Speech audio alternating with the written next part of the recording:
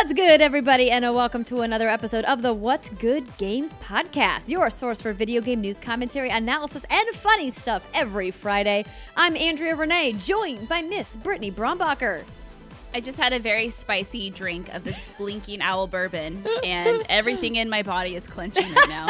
I don't know what happened. Uh, we are both enjoying some delicious blinking owl bourbon, courtesy of our dear friend Solid Snake Ocelot, uh, friend and supporter of the show.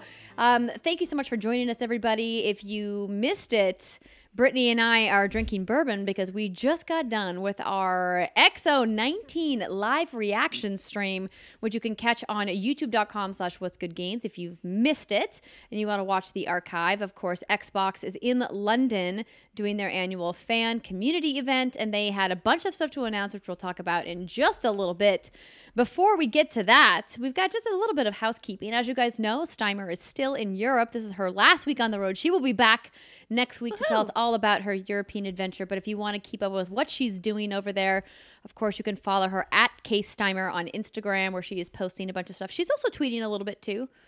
So, Oh, yeah. Right now, at this very moment, she is very drunk. And her Twitter right now is a blessing to all of us. Definitely you should check it out. She's my favorite. I was going to say she's my favorite when she's drunk, but then that makes it sound really bad, right? I love Steimer unconditionally. Here's my P- PC PR spin. But she's extra entertaining after a few adult beverages. uh, aren't we all? Aren't we Yeah. all? I think I saved myself. But you are correct in saying that she is particularly fun when she's enjoyed a few beverages. But um, we are excited to have her back, and we are glad that she had a really great time from what we've talked to her about and what we've seen so far. But for now, it's just the Britt and Andrea show this week. We've had a couple of awesome guests over the past couple of weeks. If you missed it last week, we had Sabriel Maston on the show, and before that, we had Rihanna Manuel. Um, we have some other people lined up for later in the year slash What are our shows called when it's just you? We've only, I think, done one show where it's just you and I. Or maybe two. Um, I don't know. Brandria? Brand, Brittany, Brandria? Brittania? I don't know. And and Brittany? No, that sounds and weird. That might Ew. work. You like that? It sounds like a really bad drink that you'd get at a bar. It, I'll have an Andritney. Do you know what I mean? Yeah. Like cheap shit that you'd get at like a college party that'd fuck you up. that know. sounds that sounds like jungle juice. No one wants that. Yeah, that. yeah. You think you do. You think you want. it. In your first sip, you're like, "Oh, this isn't that bad," and then and then you're blacked out. It's not good. Yeah, and then you're over a toilet. having a exactly. time. Um, That's what the Andritney will do to you. Indeed. And also what our Patreon streams will do to you. Ah, just kidding. They won't do that. But if you go to patreon.com slash what's good games, you'll get access to exclusive streams, including our happy hour Q&A and our after hour stream, which are happening next week on Thursday, November 21st. We're still working out the timing, so please keep your eyes peeled on our social platforms and of course at patreon.com slash what's good games. We will announce all of those details very soon. And today I'm making a very special appearance on friend of the show and all around wonderful person, Naomi Kyle's channel on caffeine.tv. So she's got a brand new show called Last Week in Gaming that is debuting on caffeine.tv slash Naomi Kyle. It's going live at 6 p.m. Pacific times when you'll be able to catch me on the show. And hopefully you guys will check it out and give her a follow um, and send her some love and say what's good games sent you.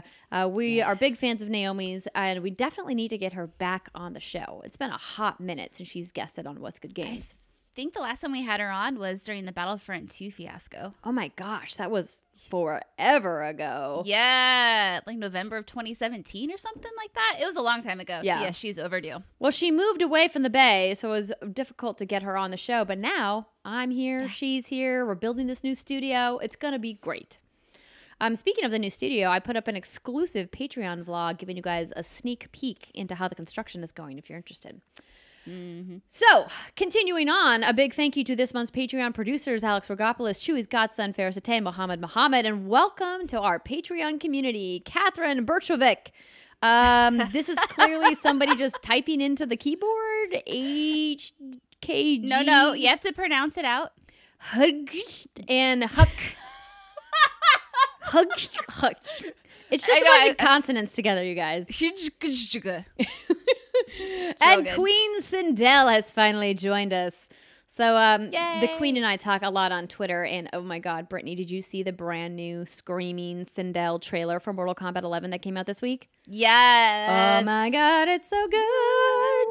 She's so sexy. She really is. She's one of my all-time faves uh, from the Mortal Kombat universe. And what's really cool about what they showed off in the trailer is that they adopted her original stance from her very first appearance in Mortal Kombat, which is like a nice throwback for fans.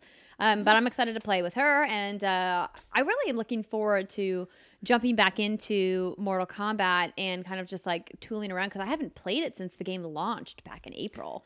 So it's yeah, been I just a while. missed it entirely, and I'm really sad about it. You can still play. It's a great campaign. Just know, drop it down on a baby ass baby mode. Play through the campaign. You won't regret it. You see, there's this game coming out tonight all about these little fictional creatures. Some Those of them are bongs, pocket thrusters. The pocket monsters. We've had some bourbon. It's fine. It's true. we have. It's true. Pocket monsters. Well, we're gonna talk about Pokemon in a little bit too. So let's get into the news, shall we? But before we do that that, we've got to tell you it's brought to you by Manscaped. Of course, support for What's Good Games comes from our friends over at Manscaped who know the best in men's below the belt grooming. Manscaped offers precision engineered tools for your family's jewels. I love that rhyme. So jingle balls to the walls, fellas. Listen up. It's the holiday season, and that means that untrimmed pubes are a thing of the past. It's time to gear up and get yourself the gift of shaving this holiday season, and we are talking about the Manscaped Perfect Package 2.0. So, this is where I get to tell you guys how exciting it is that I get to kind of creep on the Manscaped kit that they sent for for John to use. They actually included a very nice manicuring set, which anybody can use. By the way, it comes with a really nice nail clipper and a, a little scissor for trimming cuticles and things like that. Um, and what Manscaped is great about is really bringing awareness to people out there that have genitals that include balls that maybe aren't thinking about grooming the way that they should be. And this is why Manscaped is revolutionary, you guys, really, because they've redesigned the electric trimmer. Their Lawnmower 2.0 has proprietary advanced skin safe technology. So this trimmer won't nick or snag your nuts. It's also waterproof. So you can bring it in the shower, you know, just mm-hmm. knock it out while you're in there. Make it easy Yeah. on yourself. The Lawnmower 2.0 comes inside the Perfect Package 2.0, which makes for the perfect gift this holiday season. It's literally everything you need to keep trimmed, cut free, and smelling nice down there. And don't use that same trimmer on your face, boys. Ew. Yeah, if you put it on your balls, don't put it on your face. I mean, unless that's your thing. And if that's the case, no judgment. Uh, the Manscaped Perfect Package also includes the crop preserver and anti chafing ball deodorant and moisturizer.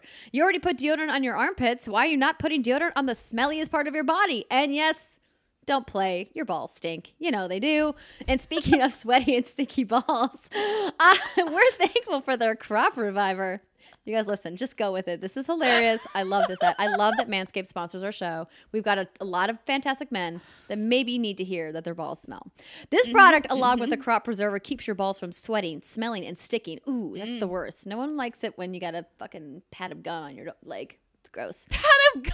Did you ever have a friend that would do that as a joke and be like, Oh, I I've got gum on my leg," and really was just his No, no, no. I've had many male friends who tell me that there's nothing more satisfying in life than removing a sticky ball from your leg. I've heard that, but I've never heard the gum thing. That's the new one. Maybe it's a regionalism that only my male friends made jokes about. Yeah, Um. Did I mention that these products smell good? Their manly scent is attractive and will help set the mood, if you know what I Oh. mean. Wink, wink. The perfect package also comes with a pair of Manscaped boxer briefs that will keep your junk feeling fresh all day. It's time to upgrade that overused pair of boxers to Manscaped high performance, anti chafing boxer briefs. Tis the season to Manscaped, so get yourself, your dad, your brother, your friends, the best gift of all the Manscaped Perfect Package 2.0. Get 20% off plus free shipping with the code What's Good at manscaped.com, and your balls will thank you. That's 20% off and free shipping with code What's Good at manscaped.com. Again, one more time 20% off and free shipping. Clean up your nuts and make Santa proud this year. Is that is that what you know people did wrong back in childhood days when Santa wouldn't bring you what you wanted? Your nuts weren't clean. I mean, I don't know. It's Santa could sniff out your nuts and then he would give you coal. Be like, sorry, your balls aren't clean enough. Coal for you. your balls. Yeah. Yep. That makes sense. it all makes sense now. Oh God. Amazing. That's my favorite ad read ever. Yeah, no, we love we love the folks over at Manscaped. Listen, they're doing the Lord's work, making sure Yeah. balls are not sweaty and not sticky. Mm-hmm. All right, let's actually get into the news now. Our first story is all about XO19. As we've already mentioned, we did a live reactions. We actually delayed the taping of the podcast so we could include it because we knew it was going to be a bunch of stuff. And OMG, was oh, it boy. ever? So, Britt, you pulled this recap from IGN. Do you want to get us kicked off? Yeah. So just a heads up, there is a lot of stuff that dropped, and we're shooting the show not far, not long after XO19, the Inside Xbox episode wrapped up. So maybe we've missed a few things, but you know, just love us unconditionally. So all these following stories are from IGN. The first one is again new rare game. Everwild announced. Rare has revealed the name of its new IP during the XO19 presentation today, called Everwild. There aren't a whole lot of details yet for the developer's next big game, but the studio did premiere a new trailer you can watch above. Everwild is still early in development, but Rare says that the Everwild team is po- focused on building an experience that allows for new ways to play in a natural and magical world. Development on Everwild is being led by executive producer Louise O'Connor, and Rare says that it'll be sharing more about the game in the future. Rare, sa- Rare says even with development on Everwild, Sea of Thieves is a primary focus for the studio. Quote, having two large games in development represents a tremendous opportunity for Rare and the talented staff here as we grow and further evolve the studio to meet the challenges of simultaneously operating a successful live service and being in pre-production for a new IP, Rare says. So this was the first thing I th- that I think kicked off the stream, or was it? Yeah, it, it was one of the first things. Anyway, at this time, we were watching uh, XO19 on Mixer, and the whole thing went down. So by the time we got the stream up and running on Twitch, we missed like 99% of this trailer. I think the reason why we don't have much to say about it is because Mixer Stream went down. That's what I was saying. when Everwild was was revealed. But here's my thing: I am interested in Rare as a studio. But that being said, this art style is not really speaking to me as a player, and I don't like that I get instantly turned off by games just because of their art style. I don't like that about myself, but I, I can't help it. I don't know what to do about it, Brittney. No, no, don't feel bad because I'm the same way. I exactly yeah, I'm the same way. Especially with more like cartoon style graphics, they turn me off. But you know, it looks pretty. Like I said, the colors are nice and beautiful, vibrant and bright. But I, when you when I see a game like this, unfortunately, you know what I think it is. I got to look at this person's face. When I see a game like this, I think of something that's not entirely story focused, just because I want to be able to read like characters' faces. Like I want to know their eyes going up, are they going down, are they mad, angry, what are they doing with their face? This one looks like it has facial animation, so maybe I'm totally off the base, but uh, it just doesn't. I don't. I don't know. I don't know, Andrea. It looks pretty. I hope they do good. That's all I. That's all I got. I mean, it's rare. They'll do good. Mm. I believe mm-hmm. in them, and Xbox supports them, which is the most important thing. I think one of the themes that we saw in XO19 was not only were cartoon focused games a big feature of this stream, but that also a lot of the games that we saw, I would not call AAA, I would call double A or indie, and that was a big, a not a letdown because I think we all figured that we wouldn't we weren't going to see a, a Halo teaser, right? Like a Halo Infinite teaser was not going to happen here. If anything, that'll happen at the. Game Awards. Uh, but more realistically, we're probably going to get a, a not a, a full look until E3 next year. But that said, I was kind of hoping they would have a little bit more in the way of AAA. But I'm getting ahead of myself here. So Yeah, Um, so just for a reference, I'm on the, the the YouTube channel, and the little blurb is introducing Everwild, a brand new world in development at Rare, where a unique and unforgettable experience will await. Dot dot dot. So yeah, we we know nothing. There's just it nothing. Nada. we know nothing, John. We Snow. know nothing. But but that's a Game of Thrones reference. I It know is. that. But Good the more job, I'm looking at it, thanks. The more I'm looking at it, I'm gonna retract almost everything I said earlier. I'm sorry. I'm going back on my word. Okay. I, I do yeah. There's a lot more detail in the animation and in the art than I had thought there was. So my turned off meter isn't as great as it once was. Oh, good. There Glad. we go. Mm-hmm. All right, moving on. Grounded was announced as a new co op survival game from Obsidian. Today, Xbox announced that Obsidian Entertainment has a first person cooperative survival game in the works called Grounded, and it's going to be playable early next year. In fact, they said spring 2020. Of course, Obsidian Entertainment is the studio behind the recently released The Outer Worlds, plus other games like Fallout New Vegas, Star Wars Knights of the Old Republic, and South Park The Stick of Truth, among other games. In this game, Grounded is a creative take on the survival genre where you've been shrunken down to the size of an ant and must gather, craft, and build bases in a suburban backyard environment. While we were streaming, and I said, It's honey, I shrunk the Fortnite. You did say that. Because that's what it feels like. The art style feels like Fortnite, and there's building, but you're really little. And there's Yeah. ants. There's big baseball. Uh, so it's playable alone with up to three players, and it aims to turn the familiar features of an everyday yard into a dangerous environment, a la Honey, I Shrunk the Kids. To survive, you'll need to harvest the materials and resources at your disposal. Working with an acorn into a makeshift body armor and slurping up hydrating drops of watery dew are two examples given of how you'll be able to survive in the backyard frontier. Backyard? Backyard. Backyard. Backyard frontier as you work through story based missions and open exploration. Quote, we first saw Grounded in development last year when Obsidian Entertainment joined our team, said Matt Booty, head of Microsoft Studios. The game exemplifies the innovation we're excited to see from them in the years ahead. So, what do you think, Britt? This was surprising. Um, you know, the word on the street, the rumor was is that we were going to see something from Obsidian. This is obviously not what I was expecting to see. Obsidian's known for their RPGs, and when this game was revealed, they had two folks on stage, and I can't remember their names. I'm so sorry, but they work at Obsidian, and I'm happy that they addressed the fact that you know, hey, we know we're known for RPGs. We have a lot of things going on during different times, so we're going to be talking about our RPGs in the future. So that makes me feel a little better. But yeah, this was just, you know, it, it does nothing for me. It doesn't blow my skirt up. It doesn't do any of that stuff. But it's cool, I guess, that they're getting to try something new. And maybe that's something exciting for them to venture away from the RPGs that they're known for. But, you know, when I think of acquiring studios from, you know, Microsoft's perspective, it's because you want to make exclusive titles that are going to sell your consoles. And a game like Grounded, with all due respect, is not going to sell consoles. And um, it's just kind of an interesting choice, but you know, maybe we'll hear more about what Obsidian's working on behind the scenes soon. I think it's a balance that is tough for developers to strike. Right? We talk about wanting to see big AAA games, and obviously, we really enjoyed our time with The Outer Worlds. And we talk about, oh, The Outer Worlds 2 seems like a logical next step.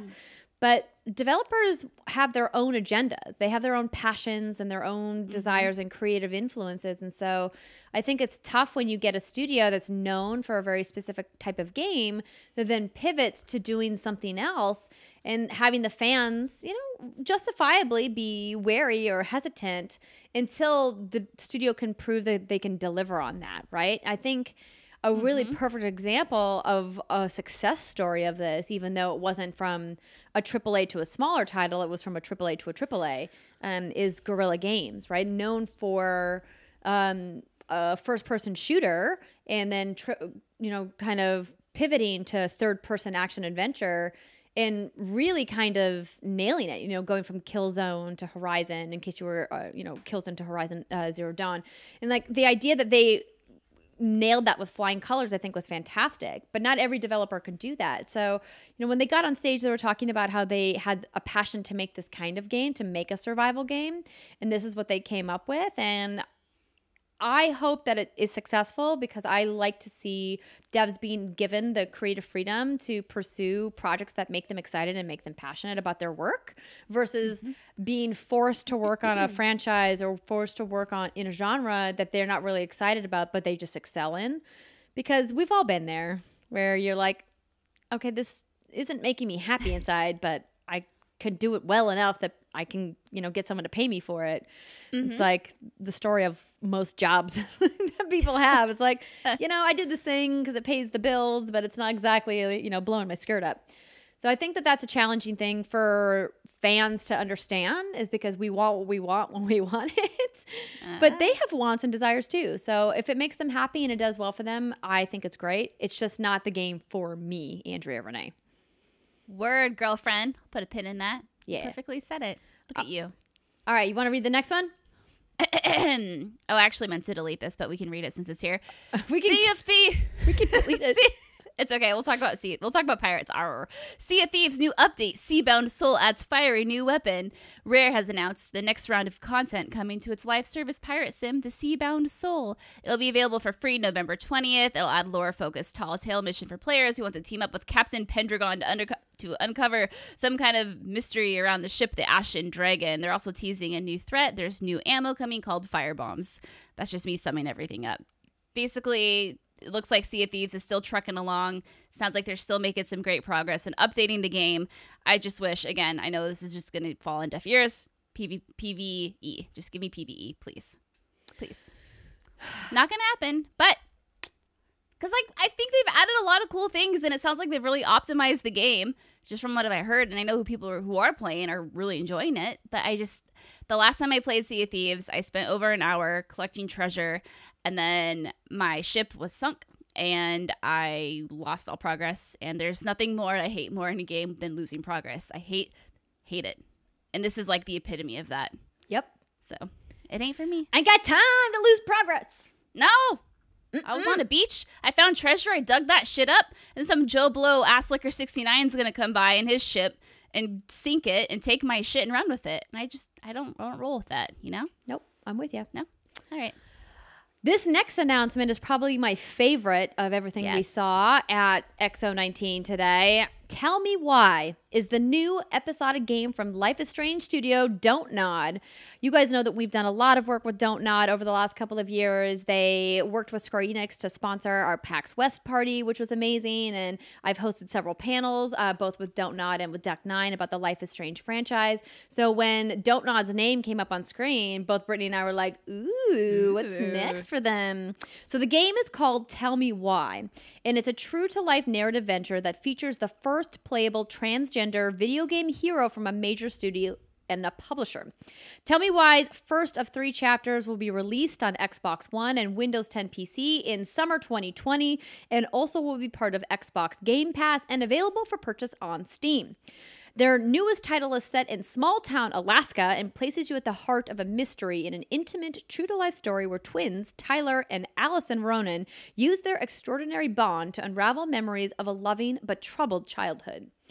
Quote, the core mechanic of the game is a special bond between Tyler and Alyson and they share that they share. It is also a theme strongly anchored into the don't nod storytelling approach, says Florent Guillaume Guillaume Guillaume Yum. Guillaume, uh, who is the game director at Don't Nod. Uh, over the course of the story, players will explore the identical twins' different memories of key events and choose which memory to believe. Ultimately, the choices players make determine the strengths of the twins' bond and the future course of their lives. I am here for this. This is exactly what I want from Don't Nod. Uh, they've been crushing it narratively with the Life is Strange franchise. And uh, I was also very happy to hear that Don't Nod worked closely with Microsoft and LGBTQ media advocacy organization GLAAD to ensure that Tyler is an authentic representation of the trans experience as well as a genuine multidimensional character.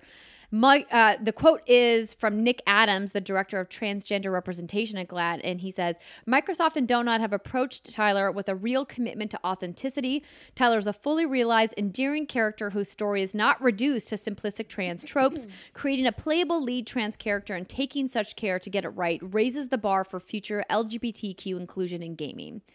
So hats off to Don't Nod for taking on this and really making it a priority to feature a trans character in their game. I can't wait to see what they do. Yeah, when we saw this uh, revealed, I think because I think the thing that perked our ear is when as you see this young man chatting, and he said she always wanted me talking about his mom, I believe, to be her perfect little girl. I believe that was the quote. Mm-hmm. And we're like, huh, did we hear that right? Oh my gosh, this is actually feature a transgender character. And my first thought was, you know, I wasn't worried because I feel like if there's any studio that's going to get this right, it's going to be Don't Nod. They know how much their story resonates with fans of their work, their stories that they tell. And I was really happy to hear later in chat that um, as we were watching the rest of the stream, someone put this info in there how they are working with GLAAD. And I was like, yes. I mean, I'm not surprised they are, but it's still just reassuring anyway.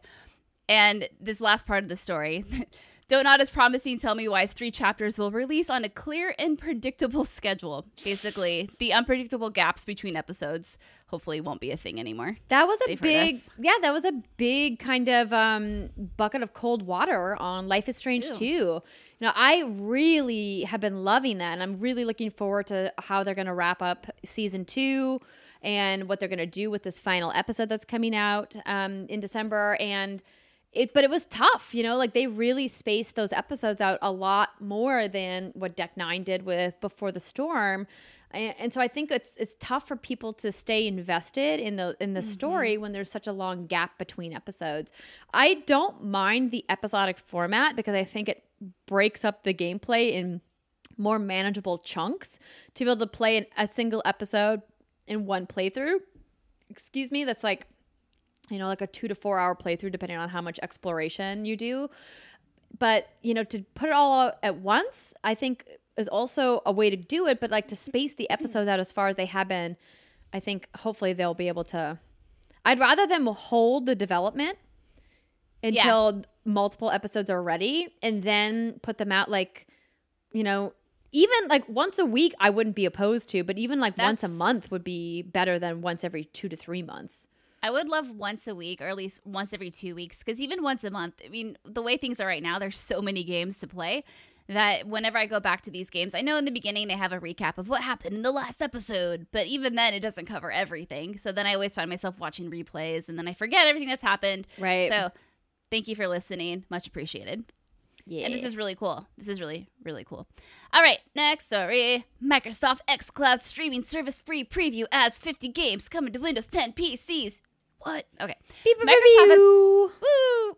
Microsoft has announced more than 50 games, including Madden NFL 20 and Devil May Cry 5, are now available in the Project xCloud preview. Additionally, Xbox's preview of its game streaming service will be headed to the Windows 10 P- headed to Windows 10 PCs next year, alongside support for the DualShock 4 and other Bluetooth controllers. It was funny during the stream when they announced DualShock 4. Someone in the audience goes, "Boo!" you silly kids. Oh. Project Project xCloud preview began last month for certain participants in the US, UK, and Korea, and Halo 5 Guardians, Gears 5, Killer Instinct, and Sea of Thieves were available to stream for all who were chosen to test out the service. As it stands, Project xCloud preview is only accessible via phone or tablet running Android 6.0 or higher, but Microsoft is looking to change that. In addition to bringing it to Windows 10 PCs next year, and it is, quote, collaborating with a broad set of partners to make game streaming available on other devices as well. Support for how the games are played is also being expanded with the next year support for Bluetooth controllers other than the Xbox One wire. Wait, I already got that in there. Anyway, if you want to sign up, you can go to xbox.com slash whatever, figure it out, and then you can try to get chosen. That's all I got. So cool. I mean, I was hoping that we were going to get some news about it coming to iOS because I would like to test this out, but we didn't hear anything about that. Just about Windows 10 PCs, which is like cool, okay. And I also appreciate it. I think it was Phil Spencer when he was on stage reiterated that yeah like this is a beta like we're, we're just we're appreciating everyone's patience like thank you for hopping in and let us letting us collect the data and like doing all the things and i think that's really important and you know we'll talk about stadia later but a message that stadia could have benefited giving out as well Yeah, no, I'm I'm with you. I think the thing that was important from Phil's takeaway um, was definitely that this tech is is not ready, um, and I I think that it's smart of them to hold it in preview and keep testing and testing and testing until it is ready for release. And iOS will probably be one of the last platforms to launch for obvious reasons, right? Like Microsoft's infrastructure is in the PC and the Android world. And while they do have a lot of features available on iOS, um, it makes sense that they would wait to test that until last because this is really meant to be a push for current PC and Xbox users. So the thing that we were confused about that we got a little bit of clarification about was did they announce that Xbox Game Pass works independently of owning a PC or an Xbox? and that was the thing that we still have not gotten crystal clear clarification on. It sounds like they all have more to say on that topic, but if they're saying that you can buy a subscription to Xbox Game Pass and you can use it on xCloud on your Android device, on your laptop, on your you know, your PC, whatever device, your Chromecast, your Fire Stick TV, your Apple TV, whatever it is. sick. Like if that's a thing, then that's Yeah. huge. But I feel like if like huge. I feel like should we just do the show? No, um, I can't help but feel though if that was the case, isn't that something you'd come out loud and proud and scream at the top of your lungs, like, "Look at this amazing deal we're offering!" So. Oh, who was it? The Verge? Someone reached out for clarification and asked this very same thing, and they basically just got a comment that was nothing but murky waters. we have nothing Like, to talk about at this time. Yeah, because I mean that would be an like you were saying, you know, these Black Friday deals coming up that we'll talk about, but you can get the sad edition for 150 bucks starting November 14th. Oh no, no, sorry, November 24th. Is then I mean at that point though, still I guess is it still worth it to get? But why would you have to buy an Xbox? Is my question. Like, why would you technically have to do that to take advantage of Game Pass? Yeah, Do you know? I, mean, from a from a back end technical perspective, you wouldn't really because you would just need to have an Xbox Live account, which you can get from Xbox.com. Right. You don't have to own an Xbox to have an Xbox Live account. Um, because you can have an Xbox Live account technically on PC because it's tied to your Microsoft account, which is essentially like what you use across Right. all of Microsoft's websites, like Outlook, et cetera, et cetera. So I'm not sure why you would need to have an Xbox to make it work unless it was somehow tied Right. to what's available locally on your Xbox a la remote play on PlayStation, but that's not what they've said. They, they've said that Right. xCloud is cloud streaming, so they've essentially put an Xbox in the sky, is what Phil Spencer said. Um, when in reality, I think we're hoping they put a PC in the sky. PC in the sky with diamonds. Oh, that's not at all the tone. Wow, I totally butchered that. Anyway, yeah, PC it's, it's in interesting. the sky, with with diamonds. diamonds. Closer. There we go. Closer. Was, yeah, I mean, you know, we're really good at the singing. We should just stop the show and just start singing all of our video game news. Um, yeah, yeah, yeah. I don't know because then I guess it's like, okay, well, if they don't make you buy an Xbox, then are they eating into the sales of their consoles, right? Yes. You know, if, if, if yeah, right. So if, like if I have an iPad and let's say Project xCloud is a thing, it's like, wake up! I don't know why I said in an accent. Here's my new Xbox. Ha ha ha. I don't know. Is that the subscription model they really want? I don't know. People who are a lot smarter than me, who are paid to crunch the numbers and run all the things, are figuring this out. But I'm really excited to see what they're going to give clarification on, or how they're going to give clarification on this. It's interesting because I'm with you, Britt, that it would feel like it's going to be cannibalizing Xbox Scarlett people who are going to buy next holiday season when it comes out in 2020 if xCloud is available with Game Pass. I think the difference though is that Game Pass by definition will always have a finite amount of games available whereas if you buy an Xbox, mm-hmm. whether it be an Xbox One, Xbox One S, Scarlett, what have you, you can buy essentially any game you want that's available on the platform that's been published on the platform, which you can't do. Game Game Pass is, has a set library of games, right? It's not unlimited. So I think that's the big difference, right? Is that especially for third party games, if there's a lot of third party games that you're like, hey, I really want to play this, those don't come day and date to Game Pass. They'll, they come eventually.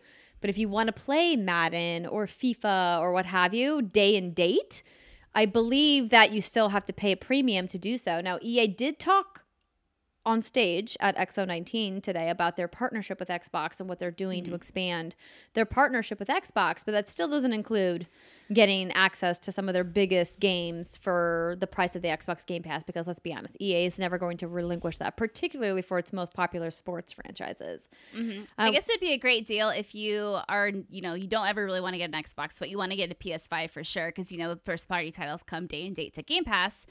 In that sense, then why, you know, if you're like, I don't really want to buy an Xbox, but I'm really interested in Halo Infinite, so maybe I'll just subscribe to a few months of Game Pass and play Halo Infinite on my iPad. Like, I don't know, that just seems weird, right? Yeah, no, I'm. It does seem weird.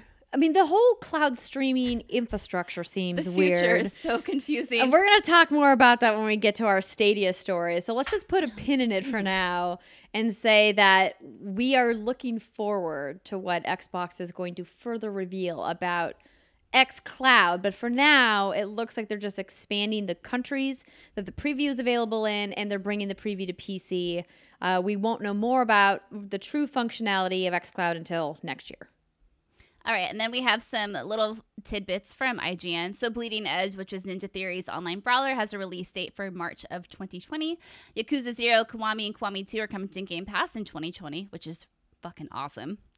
Halo Reach will be added to the Halo Master Chief Collection on December 3rd for Xbox One and PC. This is the only title initially available for the Master Chief Collection on PC. Kingdom Hearts 1.5 and 2.5 Remix and Kingdom Hearts 2.8 China Final Chapter Prologue. Oh my god. We're confirmed for 2020 release on Xbox One. Final Fantasy 7 through 15 are being added to Game Pass in the coming months. Those worth noting that does not include the MMOs. And Microsoft has announced for a limited time all Xbox Game Pass Ultimate subscribers, like Andrea was saying earlier, will get one month of EA Access, the premium subscription service, allowing you to play some of its games early and for free, in addition to three months of Discord Nitro and six months of Spotify Premium included in Game Pass Ultimate. And beginning November 14th, you can get three months for $1. So this is something that I think they glossed over on their stream, and I don't know why. Maybe it's because it involved a bunch of other streaming brands and they didn't want to highlight them, but that they're doing this deal that includes wait, let's just go through this paragraph again. All Xbox Game Pass Ultimate subscribers will get one month of EA access. They will get, uh, well, with the exception of Jedi Fallen Order, which Right. won't have early access. And the reason they're doing that is because of spoilers. And we're going to talk more about that later. Um, in addition to three months of Discord, Nitro, and six months of Spotify Premium with your Game Pass Ultimate subscription.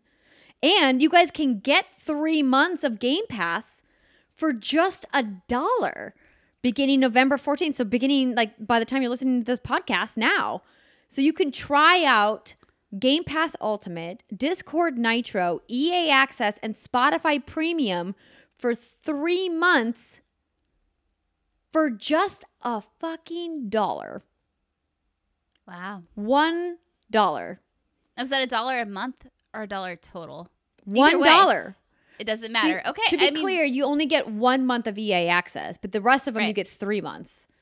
And then Spotify, That's- you get six. But the deal is three months of service for just one dollar. One dollar. I mean, this is a no brainer. Like, try it out. If it's for you, awesome. If it's not, cancel it. But like, Mm-hmm. don't tell me you don't have a dollar to spend on this. You do.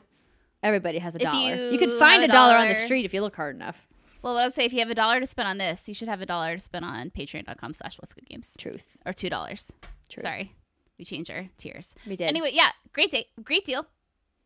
You know, check it out, test the water. You're not out anything. You can probably find a dollar like in the street somewhere. You know, scrounge up some change and get yourself Game Pass Ultimate. Yeah, and on top of that, you pulled this from Destructoid. The mm-hmm. Black Friday deals that Microsoft is doing are incredible discounts. So if you aren't is a lot of you did write in and tell us you are interested in the Xbox All Access program, but if you're not, if you're like, nah, that's not for me, dog. Um, you can get an Xbox One X for three hundred and forty nine ninety nine, which is wild. You can get an Xbox One S for one ninety nine ninety nine, and the sad edition is one forty nine ninety nine. Which li- listen, just don't don't bother with the sad edition, okay? If you're gonna be buying an Xbox now, get at least the S, or just you know, if you can swing it, get the X because that's what you really want. And it's only Yeah. 350. The fact that they're making Xbox One X 350 and you can get 3 pat 3 months of ultimate for a dollar, like, whew. They're Yeah, really they're trying to making it- infuse people into their ecosystem. I'm saying yeah, and they're doing all the right things because I mean, obviously they're in a position where they kind of like needed to do this, but good for them. I mean, these are really very attractive offers, Andrea. You see, and like you know, get the Xbox One X. It's a really pretty console, and I give it my stamp of approval because I like it a lot. Yeah. We love That's our. Xboxes. Yeah, are you? Do you Black Friday shop? I know we've talked about this, but I don't remember what you said. Oh yes, I'm Yeah? a Black Friday addict. Um, not to go too much into it because I believe we did a secret segment on this a while We back. did.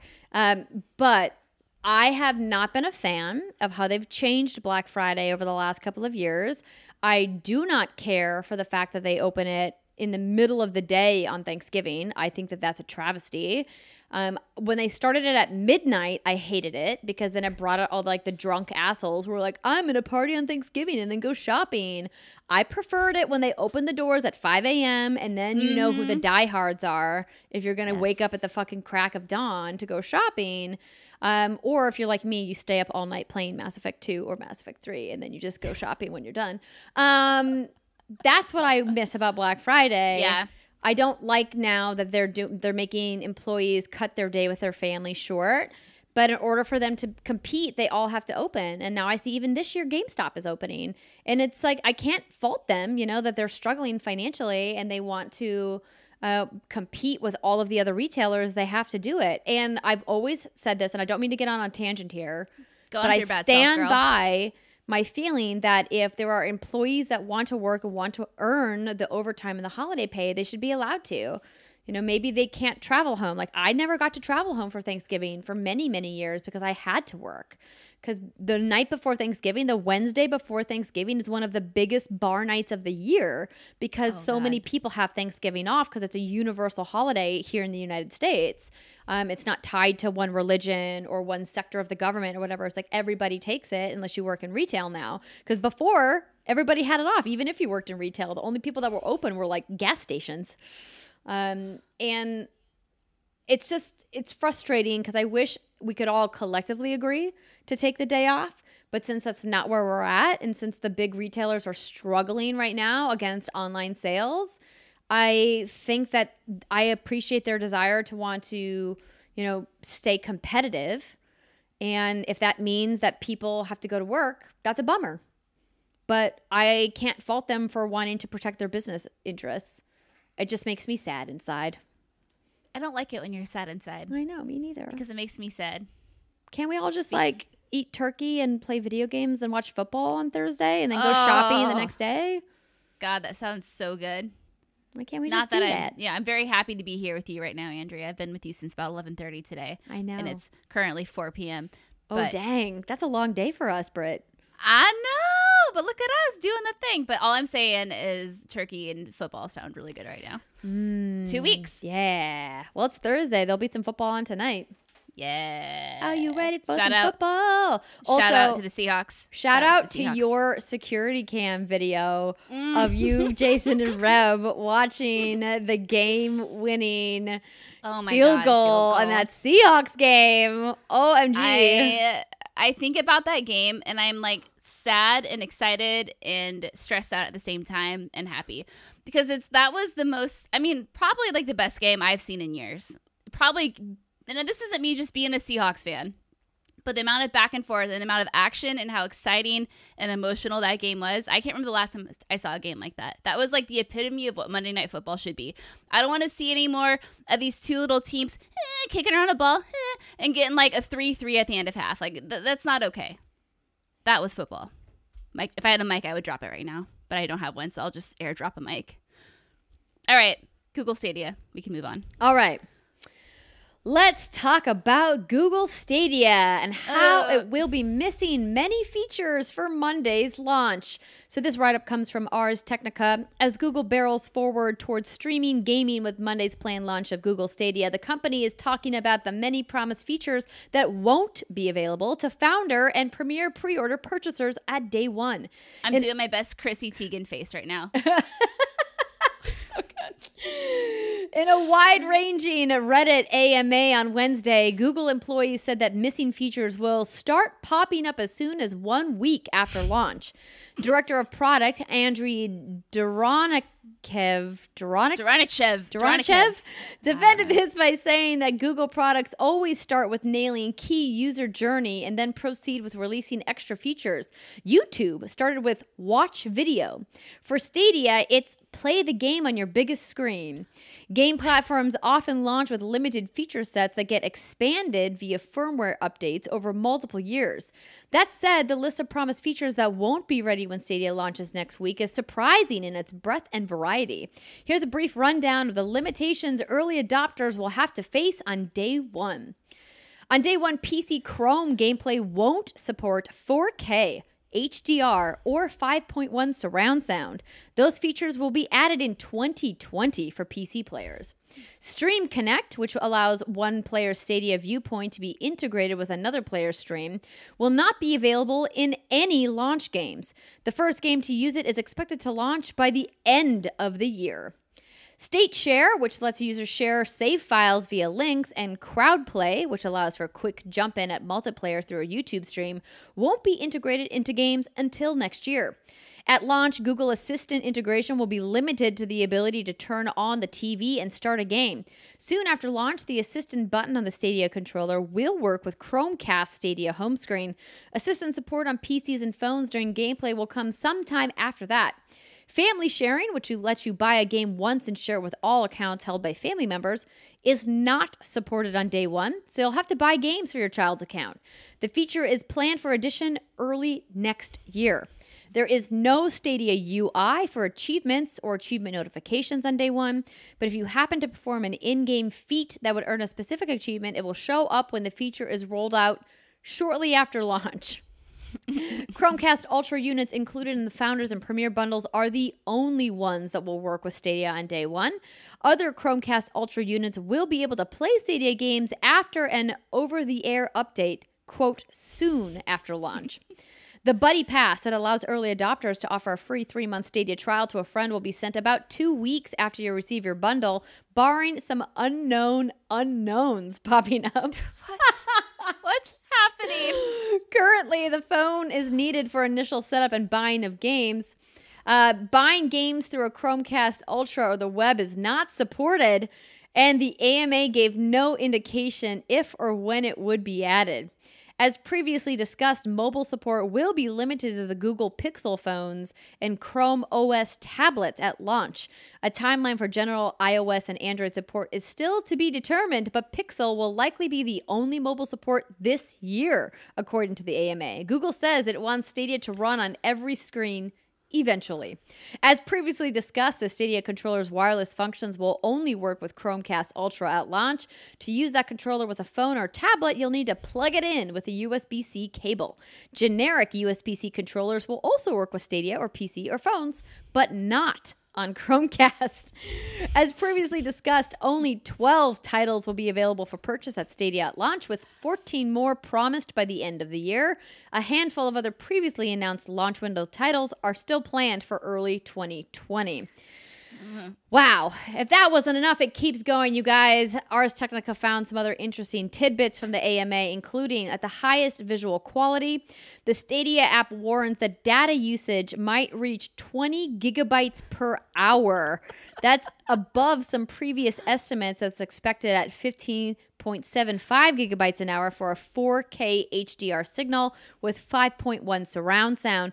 Limiting the stream to 720p stereo quality via the app caps data usage at still 4.5 gigabytes per hour. You should expect regular games as freebies with your $10 a month Stadia Pro subscription, but Google can't commit to a solid schedule for their availability yet beyond Destiny 2 at launch. Similar services from Sony and Microsoft also mul- offer multiple free games per month, FYI.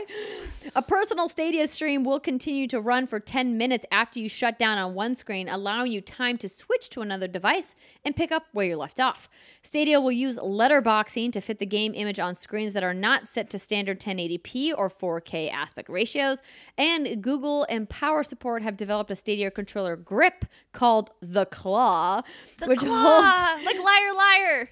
Yes, I actually have one of those, uh, which holds a Stadia phone centered and floating over the controller, unlike generic phone and controller grips. It won't be included in pre-order bundles, but will be available uh, available for purchase in the Google Store in the coming weeks. Whoa. Okay, so wait, the most important thing of all this, what do you mean you have a claw somewhere? Um, so I can't show it to you because it's under embargo, but Google sent me Oh, a oh. Stadia unit, a kit. Uh, Okay. To review Stadia, and we're going to be talking about it on next week's show. I thought we could talk about it on this week's show, but I reviewed the embargo information, and it's not. It's not now. so, Miscommunication because have you seen Liar Liar? of course. Okay, The so the claw. claw. Okay, so when you said that you have one somewhere, I had it envisioned like a hand model, like on like a trophy pedestal that was just called like the claw. I'm like, how have I never seen this? No, I don't. I don't have that. Okay, I have the all right, actual okay. Google Stadia claw. Um, Okay, makes sense. Okay, so wow, this is a lot. This is this like is a lot, a, lot. ton. And you know me, I'm the one who brings the sunshine and rainbows to the What's Good Games podcast. But like, what the fuck? Yes. And You- what's frustrating about this, before you give me your thoughts, Yeah, yeah, Brittney, I just want to make a disclaimer. This week, I did an interview with Jack Buser from the Google Stadia team, and he's fantastic. I love chatting with Jack. The unfortunate part was my interview with him happened not only before I got hands on with my review kit for Stadia, but before the AMA happened. And so I'm not sure if we're actually going to be able to show or air you any of that interview because a lot of it was kind of rendered moot by the AMA that came out. So I'm going to go through and see if I can pick out some tidbits to talk to you guys about next week when we talk about our Stadia impressions. But for now, we're just going to proceed with our commentary based solely on the AMA. So I mean, tell me how you feel about this. where- Where do we start? There's like 18 bullet points here, Andrea Rene. No, I mean, like like I was saying earlier, I think the biggest flub here, and there's a lot of flubs, a lot of flubs, but like the big one here is not setting the expectation that this is going to be a very early access, a beta, an alpha at this point. I don't know, launch of this technology. You know, I am a founder I am part of the I bought the founders edition way back when just because I'm more interested in the technology itself. The game, the 12 games that are being offered, uh, there's there's one that I think is the exclusive and it's I think the one about the I don't even know what. All I know is there's like blood and gory. Do you know what I'm, do you know what I'm talking about? I, I can't remember what it's called. The exclusive game? Yeah, there's one. Um Well, it's you're about a little about Gylt, are you? yeah, that one. That's the one. G Y L T I think is Yeah. how you spell it. Yeah. From Uh, Tequila anywho, Works. Yeah, yeah, that's it. Uh, But the other 12, you know, are games that have been out for a while. I don't have any need to play. I'm just more interested in the tech to see how it's going to work. But it sounds like I should just wait until soon after launch. And I put that in air quotes. No, you should wait until next year at the earliest. Like there, there's based off this AMA, there is no way that I could ever comfortably convince people to be an early adopter for Stadia. Like I am so disappointed in what they have brought here because I think once they're off the ground and all of these features are up and running, I think Stadia is going to be something really cool. I think the mm-hmm. tech is really cool. One of the things that Jack and I talked about in our interview was what Stadia is doing with developers from a technical standpoint on the back end to be able to allow them to do cloud processing and make features in games that they've never been able to even contemplate before because of the power of the cloud and the power of the server farms that Google has around the world and how Google's reach is so global that they're able to really kind of take the caps off, off of their creativity and what they thought was possible on a quote console before. Now, I mm-hmm. never got him to commit to me whether he thinks Stadia is going to surpass PC in performance. And I think he probably didn't do that because the performance on PC is so variable depending on how you build out your custom rig, right? Like it's all about how much power you're going to build in. And Stadia is a fixed amount of power, so it's absolutely more powerful than console, but it's hard to say whether it's more powerful than PC. Certainly more powerful than some PCs, but definitely not all. And so they're in this weird gray area. And so I, I like that Stadia is doing really interesting, innovative things from a developer standpoint. But mm-hmm. from a consumer standpoint, there's mm-hmm. absolutely no value in buying into Stadia right now. Like none whatsoever. Unless by some case of the imagination. You haven't played any of these launch Right. titles. And just as a reminder, the launch titles are Destiny 2, the collection, Thumper, Kine, Red Dead Redemption 2, which to me is the standout in the launch lineup, Samurai Shodown, Tomb Raider Definitive Edition, Rise of the Tomb Raider, and Shadow of the Tomb Raider Definitive Editions. Gylt, which is the Stadia exclusive from Tequila Works, Assassin's Creed Odyssey and Just Dance 2020, Mortal Kombat 11. That's the launch that's available when it goes live next week. And then coming in uh, before the end of the year is Borderlands 3, Dragon Ball Xenoverse 2, Farming Simulator 19, Attack on Titan 2 Final Battle, Football Manager 2020, Final Fantasy 15, and Darksiders Genesis. Yeah. Uh you know, it's get- it's so hard because you know, like like you're saying, I think trying to innovate and do new things in this technology space eh, the future is the future all cloud gaming or of course like it kind of looks like it's heading that way eventually. Are we there yet? Absolutely not. That's like a kind of like some of these issues that are like popping up all over the place. But it's it's hard when you see this because you've been see what did you spill on yourself? I don't know what you're talking about. I look over and you're like shimmying the shit out of your boobs or your shirt. So I'm assuming that's a yes. So I'm gonna have to go to youtube.com slash what's good games to watch that around the oh, I don't know, fifty something minute mark. Okay, anyway. yeah, so it's just uh it's hard because you know we all want to like support innovation because I think it's good. I think it moves the industry forward and it you know helps bring about change that might be needed. But when you see something like this, it just comes across as such a me too, me too. Like I want to be a part of this. Like Google's like, yo, let's put our Stadia in there and let's do this really cool thing, and then it doesn't live up to anything, and it's launching in such like a beta form. It just leaves leaves a really bad taste in your mouth. And I think this is something that we've kind of predicted would have happened. But I think, you know, especially as we came to launch, but when it was first announced and they're promising all these awesome things, it's like, well, if anyone has money, it's Google, so they can probably pull it off. And then you're seeing, like, well, no, not yet anyway. It's just puzzling to me that they want to be in the gaming space and want to be competitive with the consoles and talk about this being the most powerful console ever. It's like you're not rolling it out like a console is supposed to be rolled out. Mm-hmm. Nintendo Switch didn't launch with a bunch of things broken about the Nintendo Switch. Sure, That's the it. launch lineup wasn't like, you know, crazy, but there was still like a bunch of games that you could play. You know, I, I get that launch lineups are by by definition going to be limited, but the idea that they only have like one new game is kind of crazy. I'm just like. I, the thing that I am so puzzled about is why not open up your store to indies? Let indies mm-hmm. publish on Stadia that are already out, so that it gives people who want to play on Stadia something more to play if they've already played these big AAA games that are already available.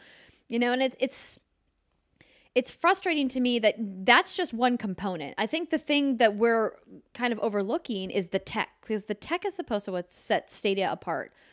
And like they're not launching uh, with full support for 4K HDR and 5.1. It's only available on specific platforms. Like that's crazy that PC Chrome gameplay doesn't include 4K HDR and 5.1 surround. Like how is how is that a thing? That's to me yeah. a giant is, is a giant fuck up. Um, so let's continue on down the list, shall we? Uh, the family sharing not being available at launch. It's a bummer, but like to just say you'll have to buy games for a different account. Okay, that's crazy. Yeah, um, so mobile support being limited to Google Pixel, that's wild. Like, why not Android at the very least? Google Pixel. How many people have pixels in the world of mobile phones in the world? Um, I would have to look that up, but I, I can't imagine that the percentage is gigantic. Um, and then the real kicker to me, and this is the thing that I said I was the most concerned about when Google Stadia was first unveiled at GDC last year, or earlier this year, excuse me Oh, God. was the data usage. And this to me is the most egregious part and the biggest hurdle that Google has to overcome. Data usage might reach 20 gigabytes per hour if you're using maximum settings. You can't promote the fact that you have the most powerful console ever created and that you can have 4K gaming with 5.1 surround sound, but then not mention, oh, BT dubs, unless you have unlimited data, you're kind of fucked. Yeah. Uh, I don't know, Andrea. I just don't know. If the proper expectation had been set that, hey, this is going to launch rough, we appreciate all of our founders, you know, committing to our technology and giving us a chance. Thank you. We couldn't do this without you. Kind of like I said, what Xbox is doing. But um, that's not what they're doing. And it's, uh, it's just kind of baffling. It's, I don't know. It, it's fascinating, honestly, because we're, we're in this new era, right? Where this is going to be the norm. This is going to be the thing where pe- everyone's going to dip their toes in and see how well it works. Mm-hmm. So it's interesting to watch. I feel like in the rush to get out there and do this really cool thing that you're launching, you're leaving a really bad taste in people's mouth. Not to mention, this is out in just a few days, and I haven't heard a peep besides like this AMA. And uh, you know, as a founder, I haven't had an email in my inbox since when I pre-ordered it. Like I haven't heard anything. And well, I the forgot. it's probably because the embargo is on Monday. That's well, no, I mean even not not just like impressions of it, but I'm talking about you know just as a regular consumer. I haven't been kept privy or up to date with anything related to Stadia. Haven't they said that even founders could be receiving their Stadia units up to two weeks after launch? Depending on when yeah because they're fulfilling them obviously in order received and it sounds like they don't have enough stock to give them to everyone at once. Which is, is wild because it's just chromecast ultras. Right. I'm not entirely sure on the details of that but i did hear that. That is a thing. So yeah i just like i yeah. it's especially after hearing the offering from xbox game pass today and seeing what you can get also for PlayStation Now. And moreover, if you're looking for a way to spend your time with entertainment, Disney Plus, oh my God. Like that mm-hmm. launched this week with flying colors. Sure, they had some technical hiccups at launch, which was to be expected, but oh my God, the library in that thing for $7 a month is crazy. I oh, just, yeah. Yeah, I don't. I, I wish they would have delayed it, or I wish they would have just said, "Hey, we're going to launch this in, in beta we're gonna do That's, a, uh, if they a, like, had said like that, preview, you know. If they had said that, we wouldn't be uh, ripping this apart as we are because it's like okay, that's what you expect when you launch something in preview early access, but you didn't do that, and here we go. Anyway, welcome to the world of video games, Google. Yeah, it, I it's would, a ruthless wasteland. And I, I normally wouldn't say this, but I kind of feel like if you have a, if, if there's still time for you to cancel your Stadia, unless you specifically want the founder's controller, like, there's absolutely no, no reason to buy Google Stadia right now. there really isn't. And I've thought about it because I know what's going to happen. It's going to arrive, and then I'm just going to put it in a corner until like next year or whatever when some exclusive game comes out. Oh boy, I have to try that. But for now, I, I it's just going to sit. So I might. I don't know. I wish I could say more about my hands on because I have some interesting things to say about it, but I can't until next week's show. So um, hopefully you guys will come back and hear about my hands on with Google Stadia, and um, that's all I can say. I don't want to. Cool. I don't want to break embargo. But do you want to talk about a hedgehog? Girl, I have been waiting to talk about this hedgehog. Yes, let's go. And Sonic the Hedgehog. What, what, what am I doing? Sonic the Hedgehog movie redesign revealed in a brand new trailer. This comes from Destructoid. Paramount Pictures has released a new trailer for its upcoming movie starring one of the most iconic video game characters of all time, Sonic the Hedgehog. The new three minute preview features our first official look at the Blue Blur's redesign, which is implemented following the less than stellar fan feedback to the movie's original trailer. Not only does the preview feature a new Sonic, but it also showcases a gl- glut. Is that the word? Glut. I've never heard that word before used like that. This. is it glut or glute? Because I want to say glute, because that reminds me of butts. Well, it, I yeah, I it's definitely glut, but like, like glute. I wouldn't I wouldn't have used it like this. Will Is it like glut like gluttony? I don't know, but I'm going to read it with glute. But also showcases a gluteus maximus of fresh clips from the movie, which stars James Marsden and Jim Carrey, mm, and is directed by Jeff Fowler. Also gone is Coolio's Gangsta's Paradise, replaced with a remix of the Ramones' Blitzkrieg Bop. We also see the luscious Green Hill Zone, complete with its famous Loop the Loop. Yeah, see? There we go. Yeah, it looks so much better. I mean, obviously we've been talking about this since the, you know, first time shit went down and how terrifying Sonic was and how oddly human slash not human he looked and how I said if I saw his glutes Man, we're saying glutes a lot. I'm saying glutes a lot in this episode. You but got if I butts saw on them, the brain, girl. I got butts on the brain. Thinking of that yamper I'm going to get tonight. uh, that uh, I would leave the you know I leave the theater if I saw Sonic's glutes because they would terrify me. But no, I don't even think he has an ass because he looks great. He's this little skinny blue cartoony looking hedgehog, and you did good. This is a rare occasion where internet backlash actually resulted in a positive outcome. And it's Uh-huh. kind of, I feel double edged about this. Part of me Yes. is like, cool, they fixed the weird Sonic and now Sonic's better.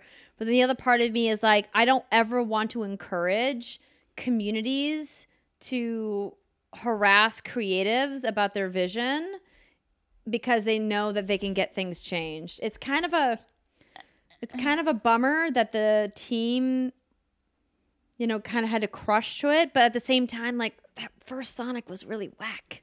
Really scary. Yeah, and I think just I don't know who's listening to this who can benefit from it, but if you're going to do something based off of an iconic childhood mascot of whatever it is, like bring people on board you know who can maybe advise about this. I feel like I'm- sure there are people on the team who are thinking like, "Oh, this is not good," but apparently that wasn't enough feedback to get to the big wigs like, "You guys need to change this or it ain't going to be great for you."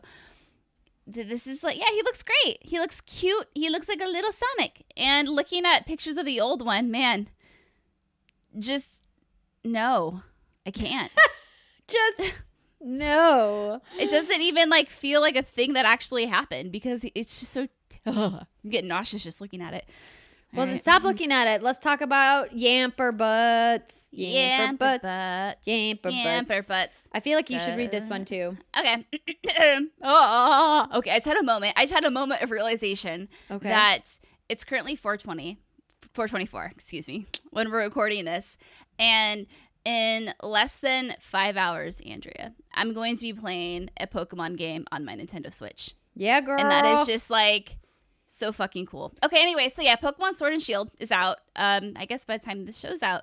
And it's currently sitting at an 81 on Metacritic. So I have two reviews here, uh, one from IGN and one from Nintendo Life. These are just little blurbs from the Metacritic page and the review. I just want to read them real quick. So IGN gave it a 9.3 and said, Pokemon Sword and Pokemon Shield are closer to my dream Pokemon RPGs than anything that's come before. I'd still like better cutscenes, companion Pokemon, the complete Pokedex, and a more visually interesting wild area, but nitpicks are just not very effective, nice reference, when everything else was such a complete joy to play.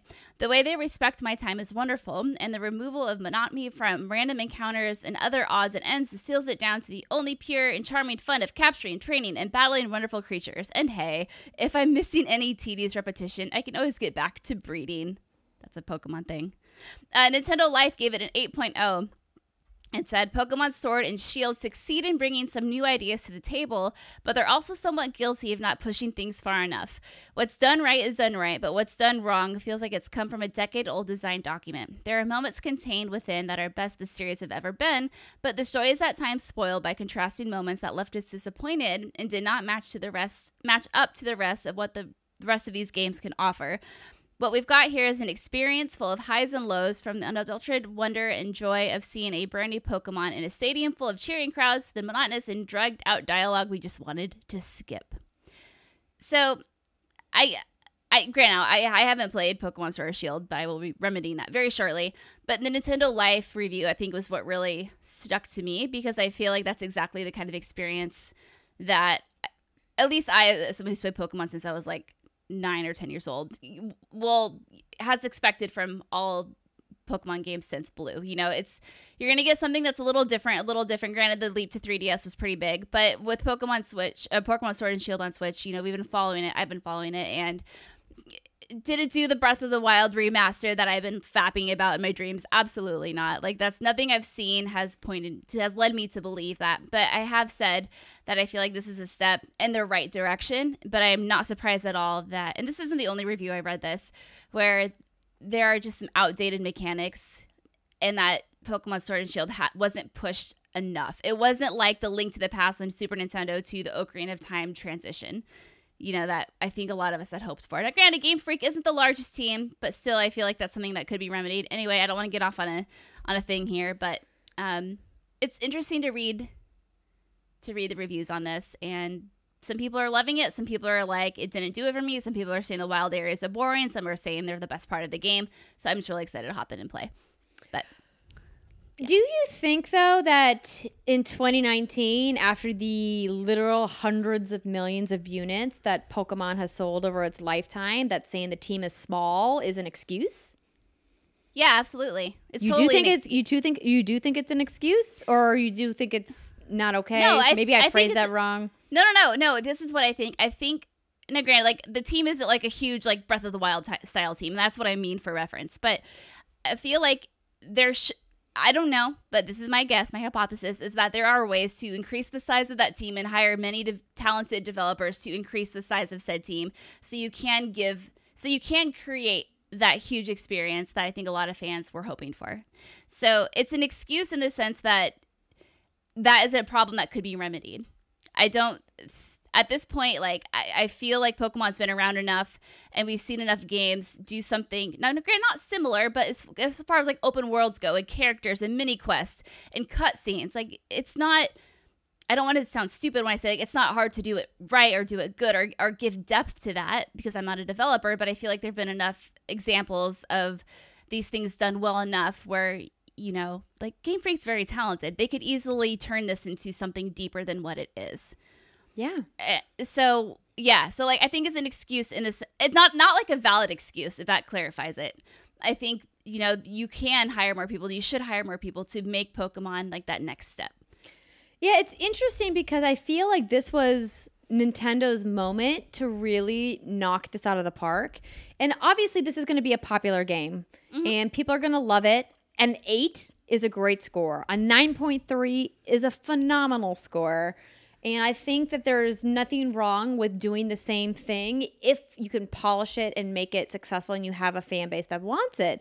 But what I would hope from a company as successful as Nintendo is with not only Pokemon, with, you know, Game Freak and the Pokemon Company, but also with how they've been successful with Switch as a platform, mm-hmm. is that now when you're on the end of the console generation for your two biggest competitors, now is the time to strike and say, we're going to bring the goods and really crush this holiday season, knowing full well that we don't have to go head to head with Xbox and one of their biggest AAAs. And we don't have to go head to head with PlayStation on a big AAA for them because they don't have a big AAA out this holiday season like they had Spider-Man last year and they had God of War last year, right? And Xbox, you know, has Gears 5, but that came out back in September. You know, so it's been removed from the holiday long enough and like quite frankly, Gears 5 would never compete head to head with Pokemon, right? They're just two very different right. games. And I think that they really could have done something magical with Pokemon Sword and Shield if they mm-hmm. had iterated. If that fan art screenshot that everyone was uh. salivating over on Reddit was the vision if they had Breath of the Wild oh, oh, you know, God. Pokemon, I think that they could have had something truly inspirational and done something amazing from a financial perspective and really kind of brought people into the Nintendo Switch ecosystem that either had been holding back on buying a Switch or people that had been holding back on buying a second Switch or a third Switch or hadn't got the Switch Lite.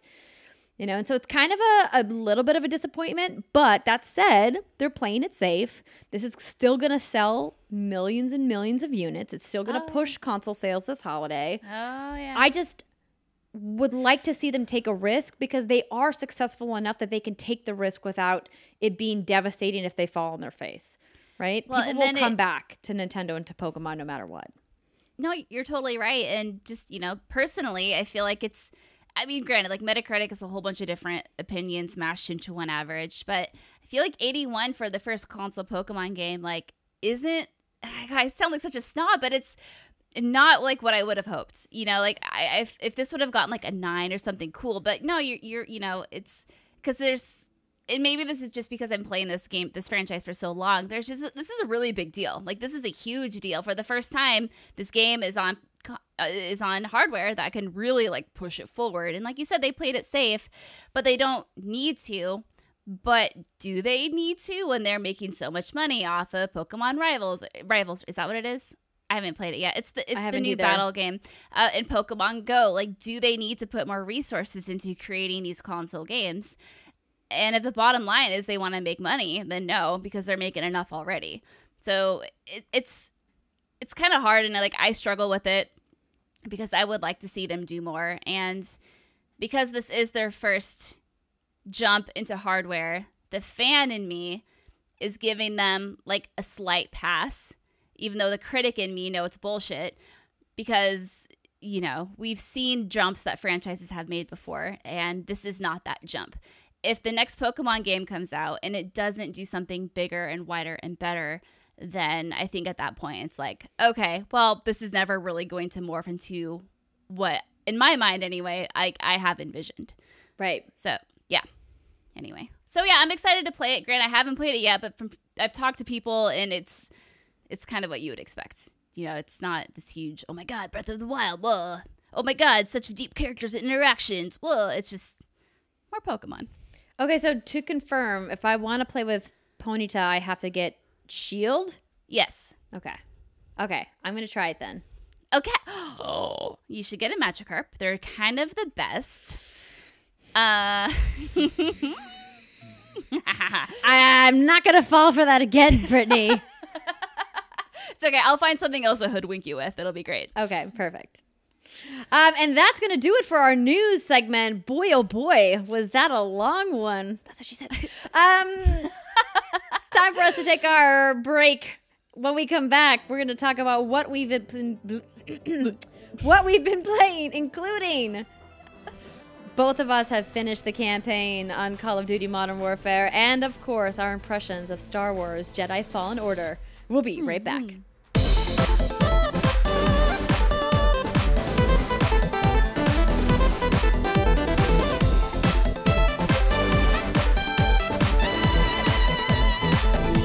Welcome back, everybody. It is segment two of the What's Good Games podcast, and this is where we talk about what we've been playing. And this week, it's brought to you by what'sgoodgames.com. That's right, everybody. If you haven't checked out our brand new website, it's sparkly and new, and it smells like Like roses. Yeah, see, we great minds think alike. It actually doesn't smell. A uh, little asterisk. Westside does not actually smell. Um, but we uh, we launched it last week, so if you guys haven't checked it out, we'd really love for you to check it out. Let us know what you think. If you find any bugs, let us know that too. But also, we've got some new merchandise in the What's Good Games store, what'sgoodgames.com slash store. You can find our Teespring store for all of your favorite What's Good Games merchandise.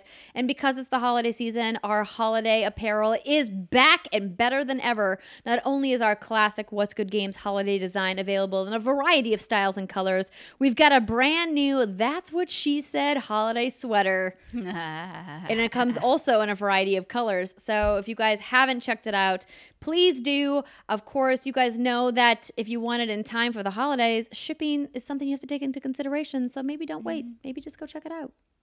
What's It's really cute. Slash store. Yeah. I made it all by myself. I know you did a really good job. Thanks. Yeah, I'm into it. I appreciate that. All right, let's talk about Call of Duty Modern Warfare. So, Brittney, you and I have both completed the campaign. You and I have mm-hmm. both played previous Call of Duties. Mm-hmm. We are going to make this discussion spoiler free. That's possible, right? Yeah. Yeah, uh, mm, mm, Mostly? Yeah, yeah. Because I feel like there's some moments we could chat about, but I yeah, we probably should. It hasn't been that long. Yeah, it's only been like a couple weeks. Yeah. Spoiler free it is. Um, Okay. So let's talk about the campaign. What Mm-hmm. did you think, high level, of what Infinity Ward did with this reboot? I okay, so I I enjoy the campaign a lot. But with most Call of Duty campaigns, sometimes it's a lot to follow like right off the gate. You know, they're like spewing all these bad dudes in these countries and all these things happening and I have to find I have to stop and I'm like, okay, so I just completed an act, then I would go into the Wikipedia and like, okay, so what just happened in that last scene? I mean, do you ever ever have this problem too, like following what's happening?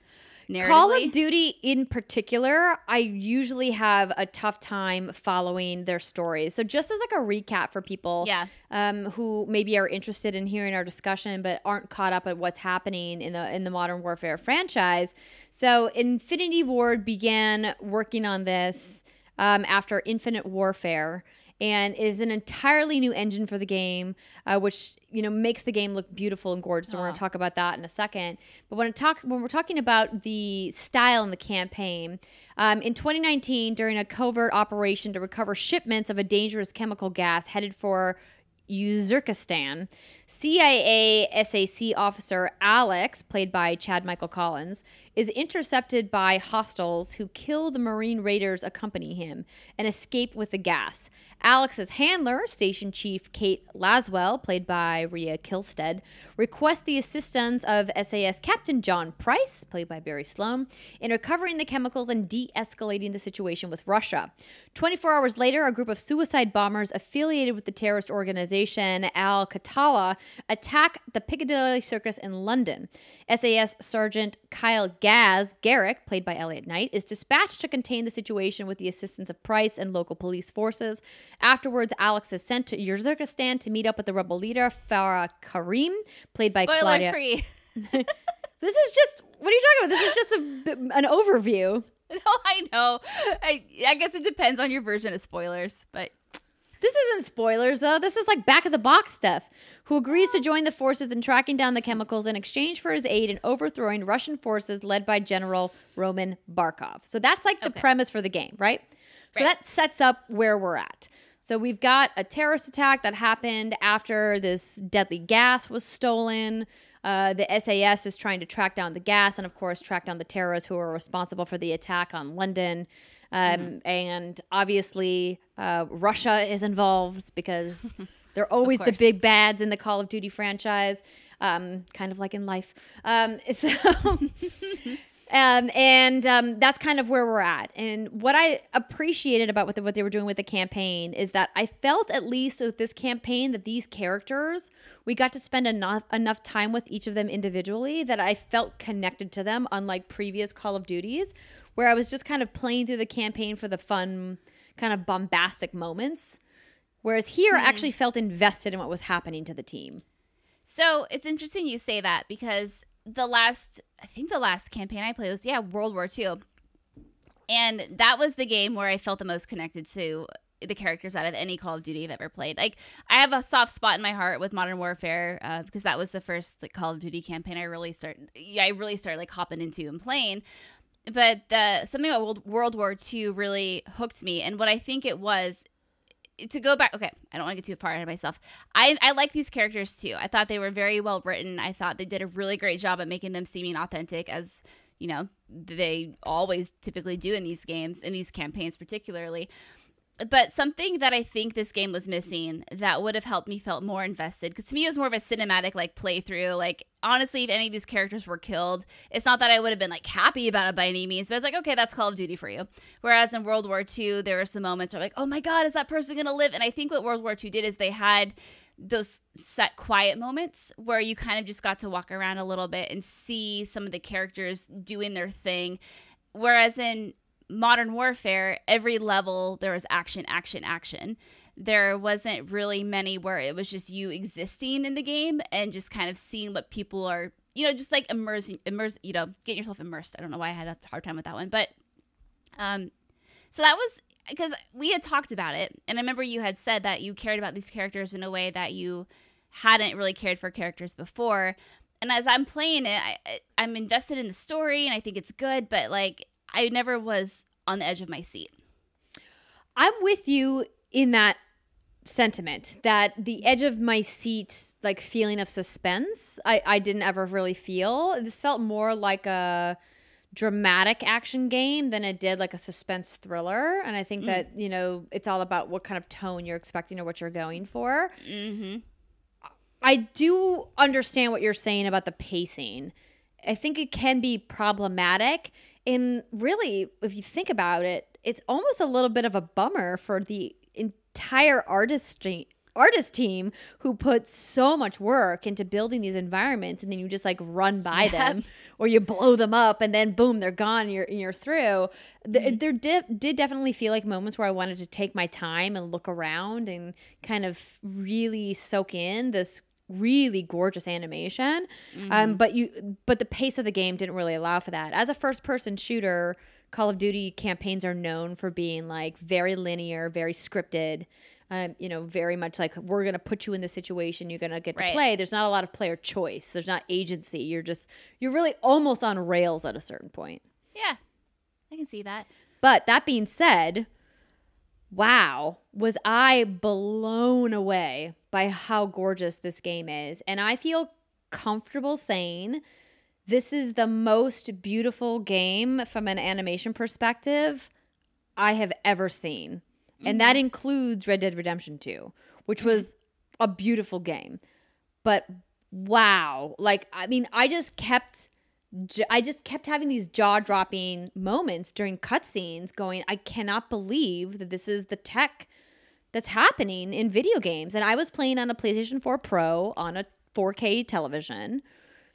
And the code, of course, was provided by Activision. I probably should have said that at the top. I'll be sure to put the, the disclaimer in the in the show notes and everything so everybody knows. But like, I just kept gawking at how gorgeous mm. this game is, and I knew from my time visiting Infinity Ward at their studio that they had put a lot of resources and, and in research and technology into not only their animation, but into what they were doing with photogrammetry and what they're doing with sound tech and really everything, all of the components that go into building animation and building a video game and what, what that means. But like, oh, I, I just, oh, I, can't, I can't, I can't say enough of how good this game looks. It looks. It's. I agree with you. I think it's the most impressive tech I've seen when it comes to facial animations and even the voice acting is just like so phenomenal. So good. It's crazy because you're looking at because I played on an Xbox One X on also a 4K TV.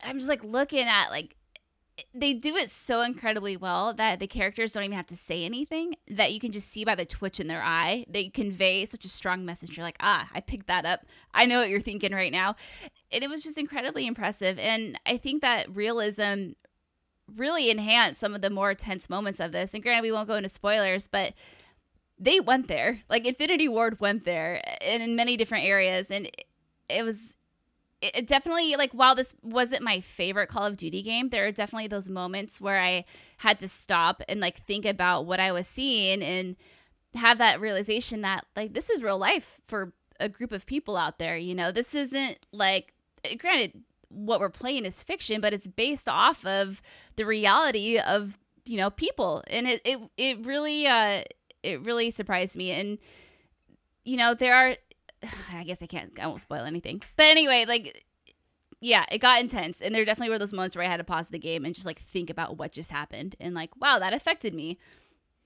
No, I'm, I'm with you. I think it's one of those games that's designed to make you have an emotional response. And if you didn't feel anything, I think that Infinity Ward didn't do their job. Right. And the fact that you felt something means that they did do, do their job. And they wanted to really make this gritty and authentic and real. And I think they did from a very specific standpoint. I haven't played um, much of the multiplayer, so I can't speak to that. We're, you know, really only talking about the campaign right now. And so we want to make that clear that, you know, this these impressions are not about the game overall, but mostly just about what they did with the campaign. And what I did like is that normally in Call of Duty, you are getting the opportunity to use specific guns and specific levels and you, once you take an enemy out you can steal their gun if you want to but for the first time, I actually felt compelled to use different types of guns in different situations because they gave me a design reason why to do that versus me being able to just blast an assault rifle at almost any mm-hmm. enemy I see. I was like, oh, now I'm going to need to use a sniper rifle for this section.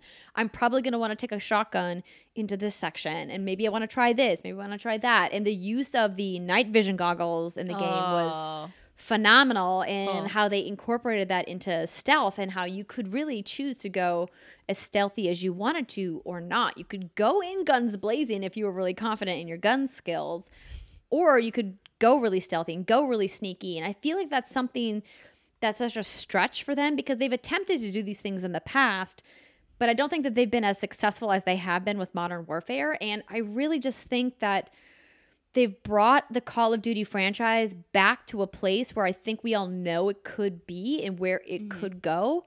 And I don't know what took them this long to get there. Ah, technology, man. No, I don't know. But something about this one, like I said, while narratively and the characters, like, they were fantastic, I didn't dislike them. These weren't my favorite. Something about this was like, wow, like, this is like you said, I, I, I can see this being kind of the, the the staple of future Call of Duty games, where it's like this is where they, you know, remember when Call of Duty 4 Modern Warfare came out, it like blew socks off. It was, I think that was was that the one that came with the night vision goggles too, way back in the day. Do you remember that collector's edition? Oh, I don't, but I'm gonna look it Oh up. yeah, I still have them somewhere around my my house. Or was that Black Ops? I don't remember. It's been like ten years. Anyway, yeah, like it, it it's it's cool because I skipped a few years of Call of Duty campaigns just because like whatever. But now, especially after finishing this campaign and kind of getting a hint of where they're going next, it's incredibly exciting. And if you did enjoy the Modern Warfare games back in the day, there are a lot of similarities, obviously, um, with that and then this. And then I think you definitely should check it out. I believe it was. Modern Warfare 2 Okay, that sounds right. packed in night vision goggles. Based off what Um, my my preliminary Google sh- search here. Oh yeah, no, I, I remember those goggles. I went out. I was uh, with my parents at the time, and I chased a raccoon around their yard with my night vision goggles. Um, what? Yeah. Oh yeah, this is a story that I've never heard. Oh yeah, no, they they live on like an acre, and they have a lot of critters around their house. And I was using them because you know that's what I do. And there was a raccoon, and so I chased it around their house, all around their yard, till like I was like all stalking it. Granted, it, you know, didn't end well. I didn't. I just got muddy at the end of the day, That but it was right. still fun. Yep. That was my Um, well, we could test that with coyotes with my night vision goggles here. Perfect. What's good games Patreon segment? Um, so just to kind of put a pin in our Call of Duty conversation, I thought it was, the game was excellent. I thought the animation was um, best in class that I've seen. I think the gameplay and the gunplay is top tier, as you would expect from Call of Duty and from Infinity Ward. And if you are into military shooters, this is a game to not miss. And so, congrats to Infinity Ward on a fantastic launch. We already tipped our hats to their fantastic week one sales. It's no surprise if they're going to be a sought after game during the holiday season. I think that they knocked it out of the park with the mm-hmm. campaign, and I would play this again. And I don't say that lately. yeah, even if you're not entirely into military shooters, I would because I mean it's not like my favorite thing in the world, but I would say just for the sheer the, the technology and just how great this game plays, it could be worth testing out if you know if you're curious. It's like oh what because I like we said this is the, probably the best looking animated game I've seen and Andrea's seen. So yeah, it's crazy, It's Do it. crazy gorgeous. crazy Okay. gorgeous. Now, Oh. On to Star Wars. Hum Um, the tune, Andrea, hum it. Um, which which part? I don't know the Dun, main theme. dun, dun, dun, dun, That works. dun, Dun, dun, dun, dun, dun, dun, dun, dun, dun, dun. You doing the main theme? I don't know what I'm doing. I, Um, I'm not the. So We'll- Star we'll Wars, Star Wars Jedi Fallen Order, obviously promotional copies provided by EA. So thank you Electronic Arts for hooking us up with Star Wars Jedi Fallen Order. And just as a reminder, What's Good Games has worked with Electronic Arts this year. If that is going to um, color your impressions of our impressions, you're free to skip this section of the show. But hopefully you don't because we've got lots to say. And of Yep. course, this is going to be spoiler free. We know the game just came out, so we don't want you guys to feel spoiled. And this is a very narrative heavy game, so we will mm-hmm. keep our discussions spoiler free for everybody out there listening. So, Star Wars Jedi Fallen Order. Brittney oh. is almost done with the game. Yeah, I think I just had, I'm on the very last mission. So Okay. I have completed the game. I played on an Xbox One X. What are you playing on? Yep, Xbox One X. Okay. And so far, I'm absolutely enamored with everything I've played. I feel like I want to go back and do a little bit more exploring. Mm. But I rewatched episode three, Revenge of the Sith, last night because Star Wars Jedi Fallen Order takes place narratively between episodes three and four. And I was like, man, it's been a long time since I've seen episode three. And so I was like, why don't I go back and watch it? And the call outs in episode three that you get to see in Jedi Fallen Order were really cool. And I'm really glad that I went back and watched it. And I highly recommend if you're a fan of Star Wars and you like the movies, uh, if you want to have like a little like precursor to Fallen Order. Maybe watch episode three again. Man, Hayden Christensen still sucks. Uh, sorry about that, but the rest of the cast is really great. That movie, that movie actually would have been really decent if they didn't have to cast Hayden Christensen as Anakin Skywalker. But okay, so I guess this is a good time to say I would never call myself a Star Wars fan. I've appreciated the movies. I've seen them all like maybe once or twice, but I couldn't really tell you anything that goes on in any of them. So I think that's a good point to make because I'm the very casual very, very casual Star Wars fan. And then it sounds like, Andrea, you're a lot more hardcore than I am. Uh, I mean, comparatively to you, yes. I wouldn't well, call myself a hardcore Star Wars fan because there's a lot of the lore that I don't know. Like I haven't watched Rebels, I haven't read any of the um like the narrative material, like books or comics or anything. And so there's a lot that I have to learn about the Star Wars universe, but I've seen the movies like dozens and dozens of times. Um, and okay. I've played multiple Star Wars games, so I'm, I'm definitely into the lore and into the world. I'm just it's it's not as big for me as some of my other fantasy series that I'm really into. That being no said, um, what they've done with the game, I'm I'm really really impressed with. I said that this game has the potential to be a dark horse for game of the year. And now that I've finished the game, I absolutely stand by that statement 100%. So I let's. I'm like trying to figure out where we should start here. Yeah, I don't know. I, I, there's a there's a lot to break down here. So I guess I'll just start and then because like for me as a casual Star Wars fan, what I was looking forward to the most I think was to immerse myself into a Star Wars experience in a way that I was comfortable with. And what I mean by that is, you know, I'm not really a movie person as Andrea can tell you. So I'm happy to watch a Star Wars movies like once like I said. And then after that like eh, you know, but video games now I can I can do those. And so I was really excited to hop in and kind of get a taste of what life as a Jedi or life in the Star Wars universe, what it's like. And it's interesting because I had heard from you, Andrea, like your hands on preview from that one episode we did.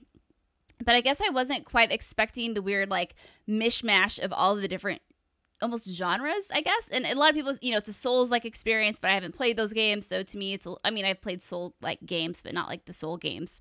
Um, and so you know, you have you you have these Star Wars moments where you're with the cinematics and you're the music is playing and you know the guns are blasting and you have the lightsabers making all these cool sounds and that's like super amazing. But then for me, I found like when you're not balls deep in those moments when you're out just exploring you know climbing things and you know the, the gameplay is a lot you know like we've said when we saw the first gameplay footage like think of like uncharted slash tomb raider you know when you're traver- in terms of traversal and some puzzle solving here and there uh, it doesn't feel much like a Star Wars game. And I don't know if that's because I don't know all the Star Wars ins and outs. So I'm not picking up on little things that would like trigger my red flag. That's like, oh, that's a Star Wars thing. Oh, that's a Star Wars thing. I feel like I'm just playing a video game, a very good video game, mind you, because I haven't been able to put this down since I've been playing it. But I was wondering if you also picked up on that or if it's just like my casual Star Wars fandom. It might be your casual Star Wars fandom because I have been thoroughly loving how Star Warsy it feels. And you know, as you mentioned, it does take a mashup of a bunch of different genres. We've talked Metroidvania, we've talked Souls, we've talked, you know, action adventure. So this game is a third person action adventure at its heart, developed by Respawn Entertainment, of course, published by Electronic Arts.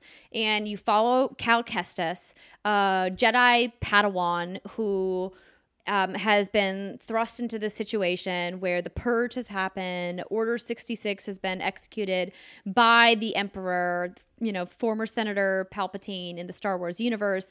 And so now all across the galaxy, they are executing Jedi as they see them. So the idea is that all Jedi are to be wiped off the face of existence.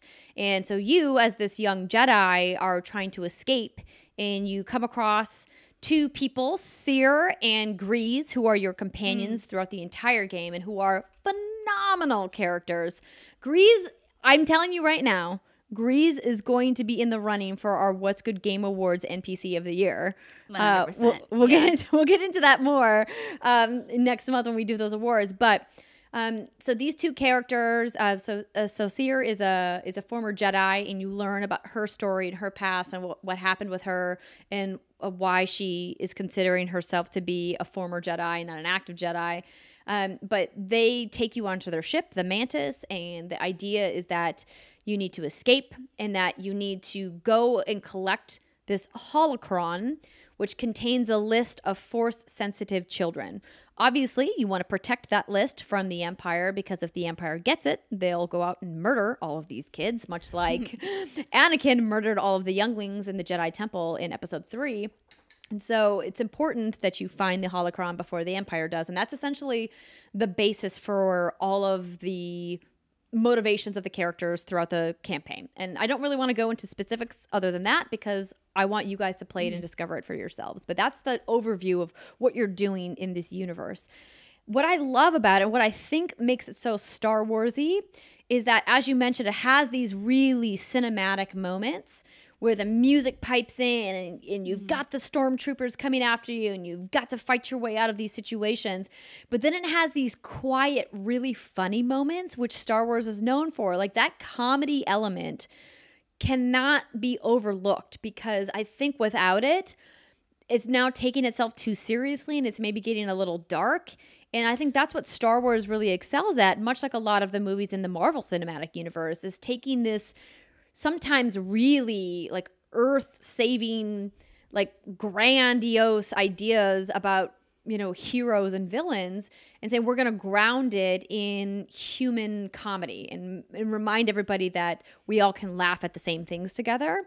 And some of the smaller comedy moments in the game, I think, really highlight uh, how effectively they're leaning into some of the Star Wars shtick you know, down to some of the hijinks that happen where you're like running from these people or you get caught over here with these people. I'm like, God, that's so classic Star Wars. And I had so many of those moments during my playthrough, and it felt really nice as a callback for somebody who's watched so many of the films over and over again to be like, it feels like they kind of ripped that straight from the film. And what was wild is that after I rolled credits on the game, I went back and watched episode three. And there's a moment when Obi Wan Kenobi puts his rebreather in mm-hmm. and jumps up out of this water and starts climbing this wall in episode three. And I'm like, I do that in the game. That's like, it's like straight in the game. Oh my God, they did the thing. And it was this really cool moment I had watching the movie going, wow, Respawn really nailed that in a way mm-hmm. that I didn't remember because I hadn't seen episode three for so long it makes me now want to go watch episodes four through eight, uh, which I was planning to do before episode nine comes out next month anyway. But I was just so impressed by the world building. So what they do is you have BD1, which BT Dubs, best boy ever, BD1, your Oh droid buddy who is with Puppy. you. A Ugh, puppy. how adorable is BD1? Ugh, love him. Oh my gosh.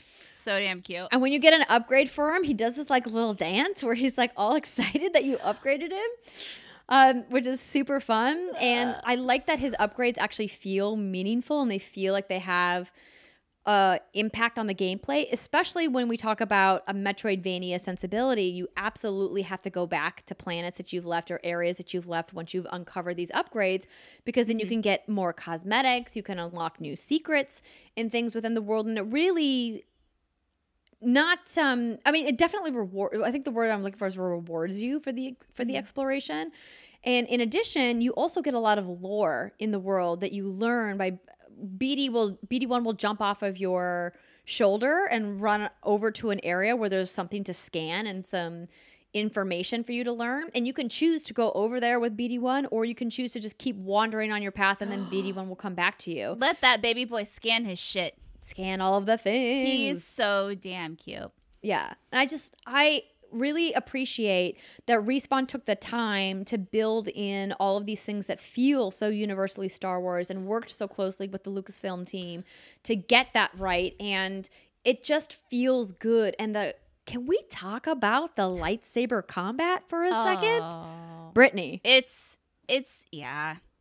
So we like I said, like a super casual Star Warsy. And just to clarify, like the cinematic moments, especially when you're on the Mantis and everyone's chatting, like holy crap, these characters are so well written and it's so funny. And like even I pick up on that little like Star Wars charm, those little moments, even like a little dab of cheesiness, which is like perfect.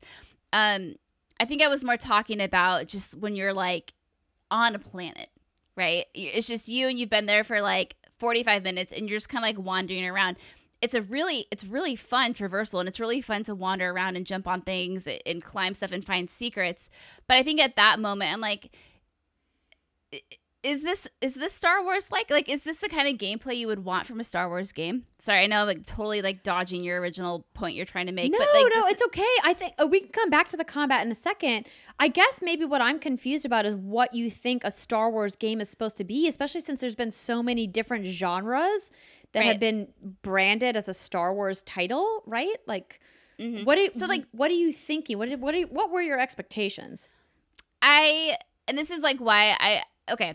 I'm not entirely sure. So when I when I this is like the thing like when it first opens up, like when you first have that opening cutscene, you know I'm like oh man like oh this is so great. But then it takes you to like the first planet, and then it's like okay go traverse, go find secrets, go find cosmetic things. When I think I personally was looking more for just not maybe more linear esque, maybe something more around maybe what what Amy Hennig was working on, like a, a more linear experience where it's like, okay, we're gonna You want like a Wolfenstein? yeah, something maybe more around like those th- those lines. Like like I've said though, I've enjoyed every minute I've spent with this game. The the traversal and exploring and the combat and even when I'm not in those cinematic moments, like I can't stop playing cuz it's just so addictive and it's so much fun. But it, it's interesting because I'm finding myself just for kind of kind of forgetting that I'm playing like a super Star Wars narrative driven game and I'm really conflicted about it because I've I never have really felt like this with a game before, if that makes sense.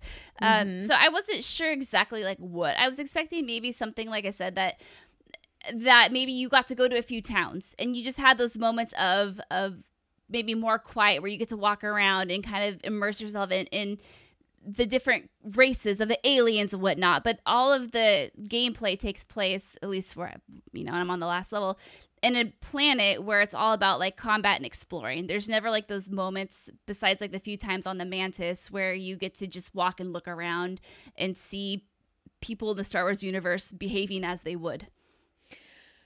I'm with you on the solitary aspect of the exploration. There certainly isn't a lot of NPCs outside of your crewmates that you run into. Um, there are a, a couple small areas where you have the opportunity to talk to a few NPCs other than your crewmates, but there aren't like a, there isn't like a hub world, right, where you get to go and like talk to vendors and, and really be immersed. So I, I see what you're saying there, but I guess I wasn't looking for that or missing that. Okay.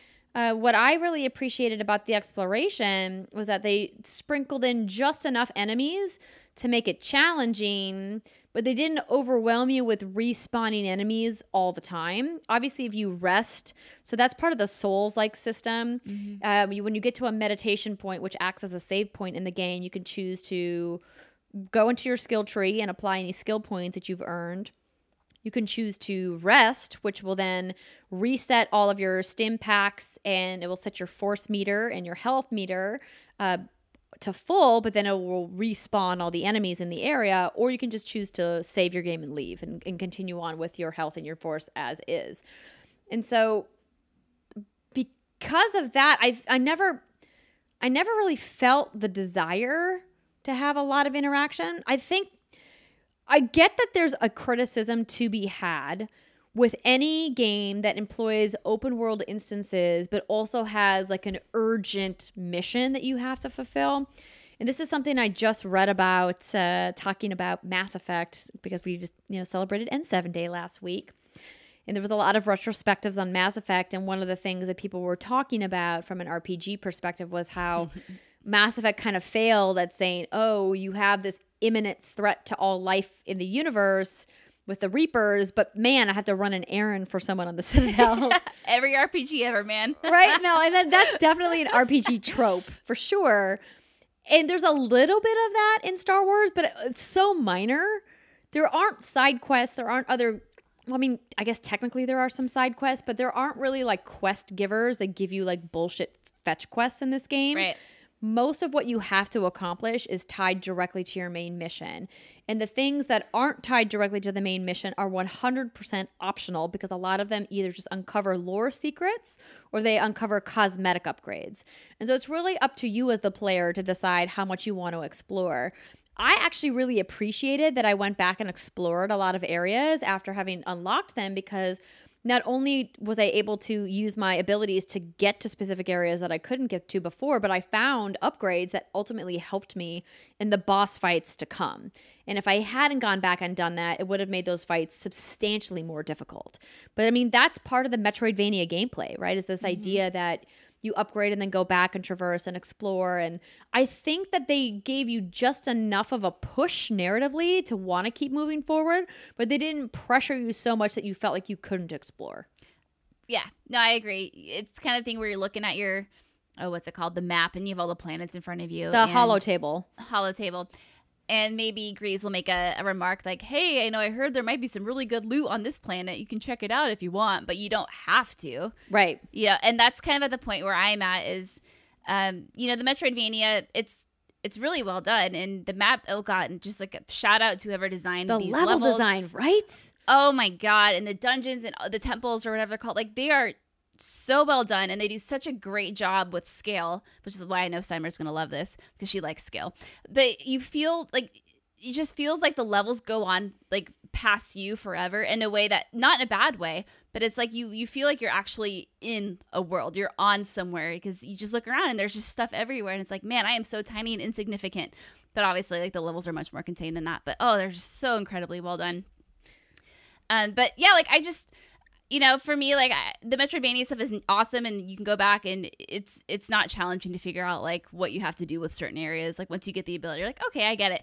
But I'm just kind of mainlining it right now because like the cosmetic stuff is cool, and the, but I don't have like a particular passion for customizing my lightsaber or like putting like a new skin on BD one. Oh, I, that I makes mean, me so sad, Brittney, because the customizations are so cool. They I mean, are. Let me I've, let I've me be honest. Cal's poncho customizations are or whatever. I had him in yeah. the pink poncho the whole time. Let's be honest. but like, and I don't want to give it away, but the lightsaber customizations, oh, it's chef's kiss. I loved the lightsaber customizations. You can do some cool stuff. Absolutely. I've I've tampered and I've I've seen all the options. I'm like, this is really cool, but like it's not something that I like get off to, right? So And that's a Star Wars thing that if you were right. like super nerdy Star Wars, you might appreciate more. And I think I have a deeper appreciation after having just attended the lightsaber workshop at Galaxy's Edge in Disneyland with Greg and Tim and mm-hmm. watching them go through the whole process and having the people on on site explain like where that came from and what that means. And so I have probably a deeper appreciation than you know, for example, you who aren't familiar with what that means in the terms of the Star Wars universe, but I think they really nailed the lightsaber customization. There's a lot of options there, and it is cool to see it like pick it up and then it does the thing you want it to do. But like anyway, basically all I'm saying is I'm just mainlining at this point. Not that I, it, it just I, I think. Well, you're almost not, at the end of the game. You're almost. I there. am. Yeah, and I've just kind of skipped going back to other planets unless I need to, just because I think there's not a real attachment for me with I, I don't want to have to read all of the the lore entries and uh, I just Hey, it's if it's like not for thing. you, it's not right. for you. Like I no, think that's, that's, any game, right? Like if the right. if you're into the lore, cool. There's a ton there. If you're not, skip it. Yeah, like Dragon Age lore, I could tell you the whole history of that planet more than I could tell you the history of this planet I'm actually living on. It's just like obviously a personal preference. But if you're like me, you know, and not super into Star Wars lore, or maybe you just never really learned it, like you you don't have to do all of that stuff, which is what I love I really appreciate that about this game is that I feel like you don't have to be a Star Wars fan, which I don't know if there's a lot of the, of, of them out there, but to pick it up and play it and enjoy it and appreciate it.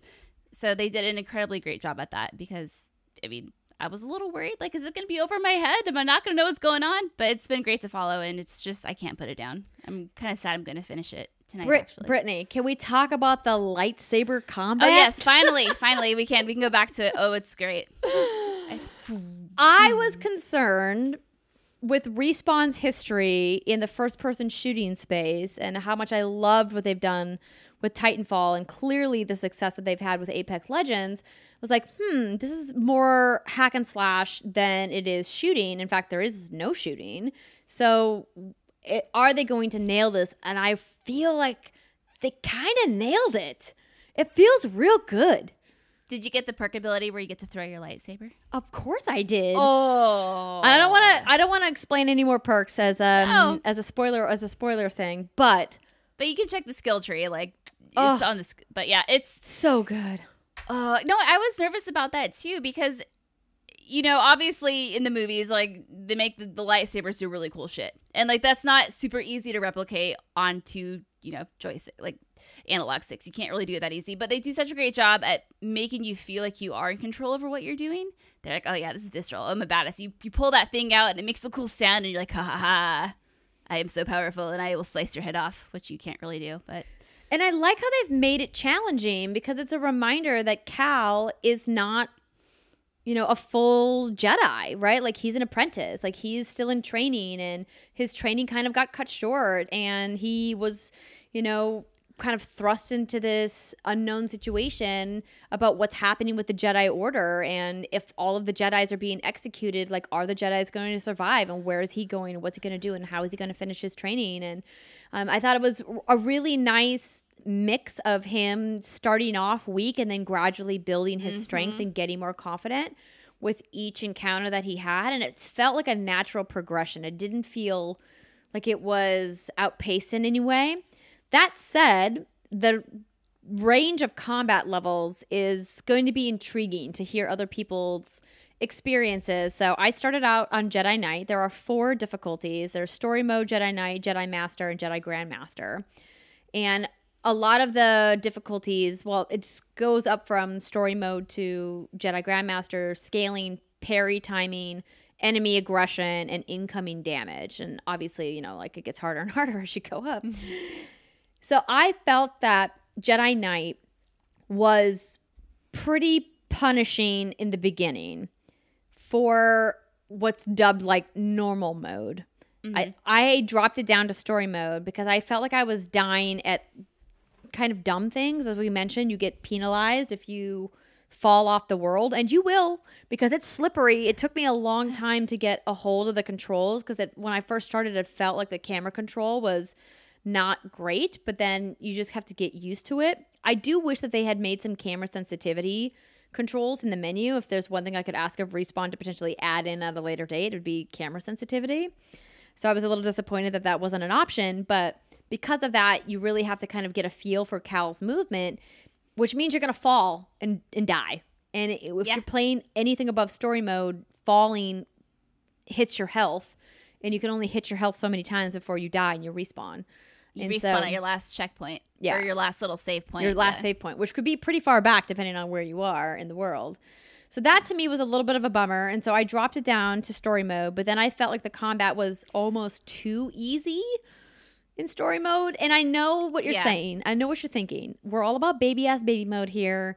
And I'm not complaining that baby ass baby mode was easy. I was just hoping that there was kind of a Goldilocks moment in between where we were with story mode and where we were with Jedi Knight. And I didn't get to my personal desire because I still felt like Jedi Knight felt too punishing for normal. Er, but if that's what the Souls games are, this is why we don't play them. right. No, it's all about parrying and getting that timing down, which is why obviously we've talked about this. The easier you go, the more of a grace window you have to to to parry, to reflect those blaster beams back and whatnot. But no, I'm with you. I started also out on the normal mode, and once I started falling because of the platforming and losing health, and then I lost all my health, and I spawned back like maybe 15, 20 minutes. I was like, nope, like nope, nope, nope. And then I took it down to baby ass baby mode. But then it's hard because it does feel almost too easy. So I'm with you, but the combat is really fun.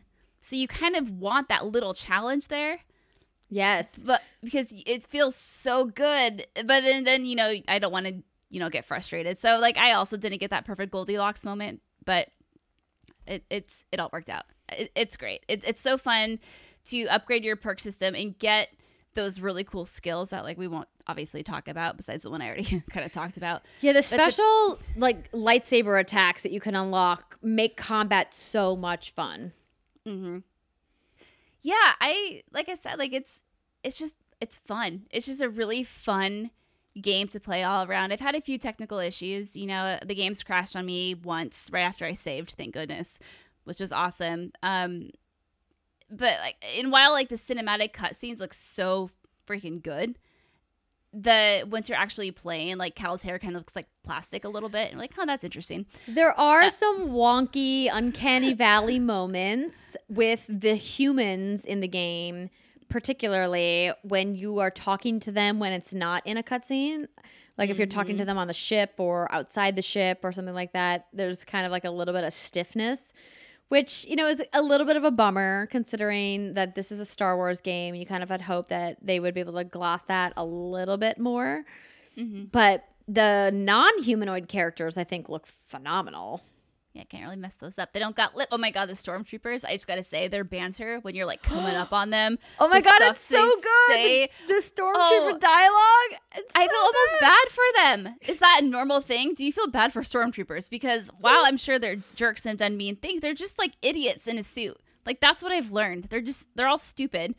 And like you, you, let's say you're going against four of them at a time. You get three out of the four. The last one there is like, I'm the only one left.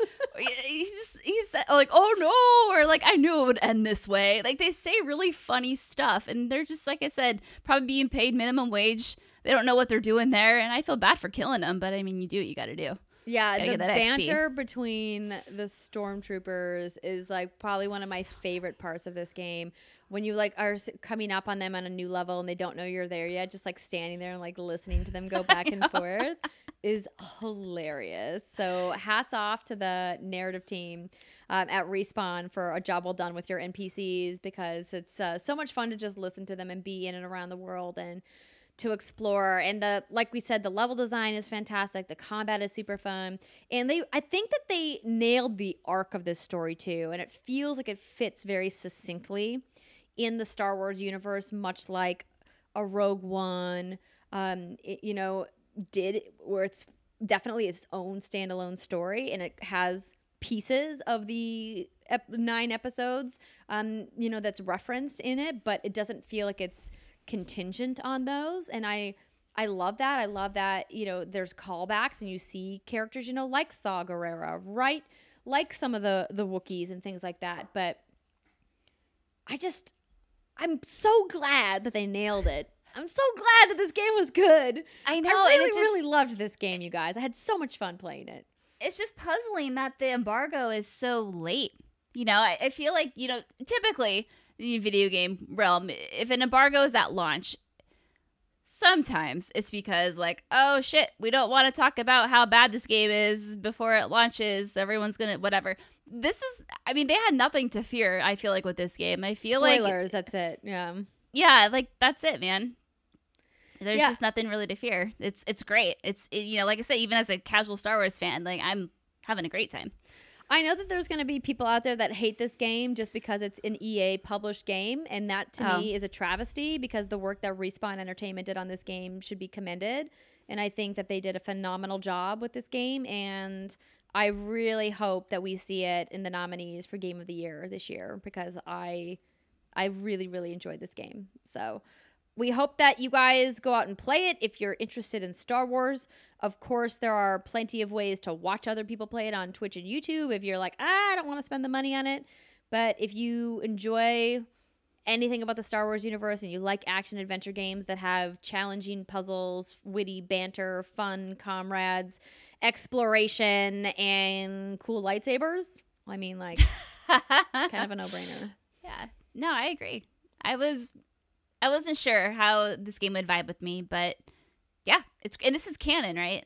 This Yeah. is a canon. It's officially part of the Star Wars canon now. Hey, look at me. I know the Star Wars now. Uh, And a part of me was secretly hoping that we'd see, you know, some of the characters that we met in this game at some point in the Star Wars series, but where we're at now, like timeline Probably wise, not. I don't know if that's even possible, unless they make like a movie in between the other movies. which they might do eventually. Who I would hope so because this cast, these cast of characters is really good. They're all like, and Greez is just like, oh my god, so damn funny. Who So I don't know who voice acts him, but so good. Oh, I have that. I have that name. He's played by. Let's see here. I literally just typed his name into the search bar. Greez is played by Daniel Roebuck. All right, Daniel, sir, you're great. You did a really great job. Yeah. Yeah. And that's all we have to say about that. And I think on that note, we'll wrap up the show, shall we? Oh my goodness. Next this is a beefy. I know, right? Uh, over two hours for the show this week, and we were like, ah, Steimer's gone. We've got XO. It'll be a short one. And originally, I thought I, we were going to talk about Stadia for the third segment, but now that I can't talk about it until next week, we're going to move our Stadia impressions and um, some follow up with my interview with Jack until next week's episode when Steimer is back. I'm so excited. I've missed her. I know. I don't know. That was a weird voice. That was weird. I've forgotten what she smells like. Oh, she smells so good. She was like Fleur. I know. Sienna. Fleur.com. That's her slash what's good games. Yep. Um, ladies and gentlemen, thank you so much for listening and hanging out with us here at What's Good Games. Again, if you want to watch our XO live reactions, youtube.com. Actually, no, not that one. Twitch.tv slash What's Good Games is where you want to watch it because we got a content ID on YouTube. Uh, if you guys want to participate in our fantastic Patreon exclusive streams, patreon.com slash What's Good Games is the place to do it. If you want to get your hands on one of our brand new holiday items in our merch store, what's goodgames.com slash store is the place to do that. We love you guys. Thank you so much. Have a fantastic weekend. Play some video games, and we'll see you next oh. week.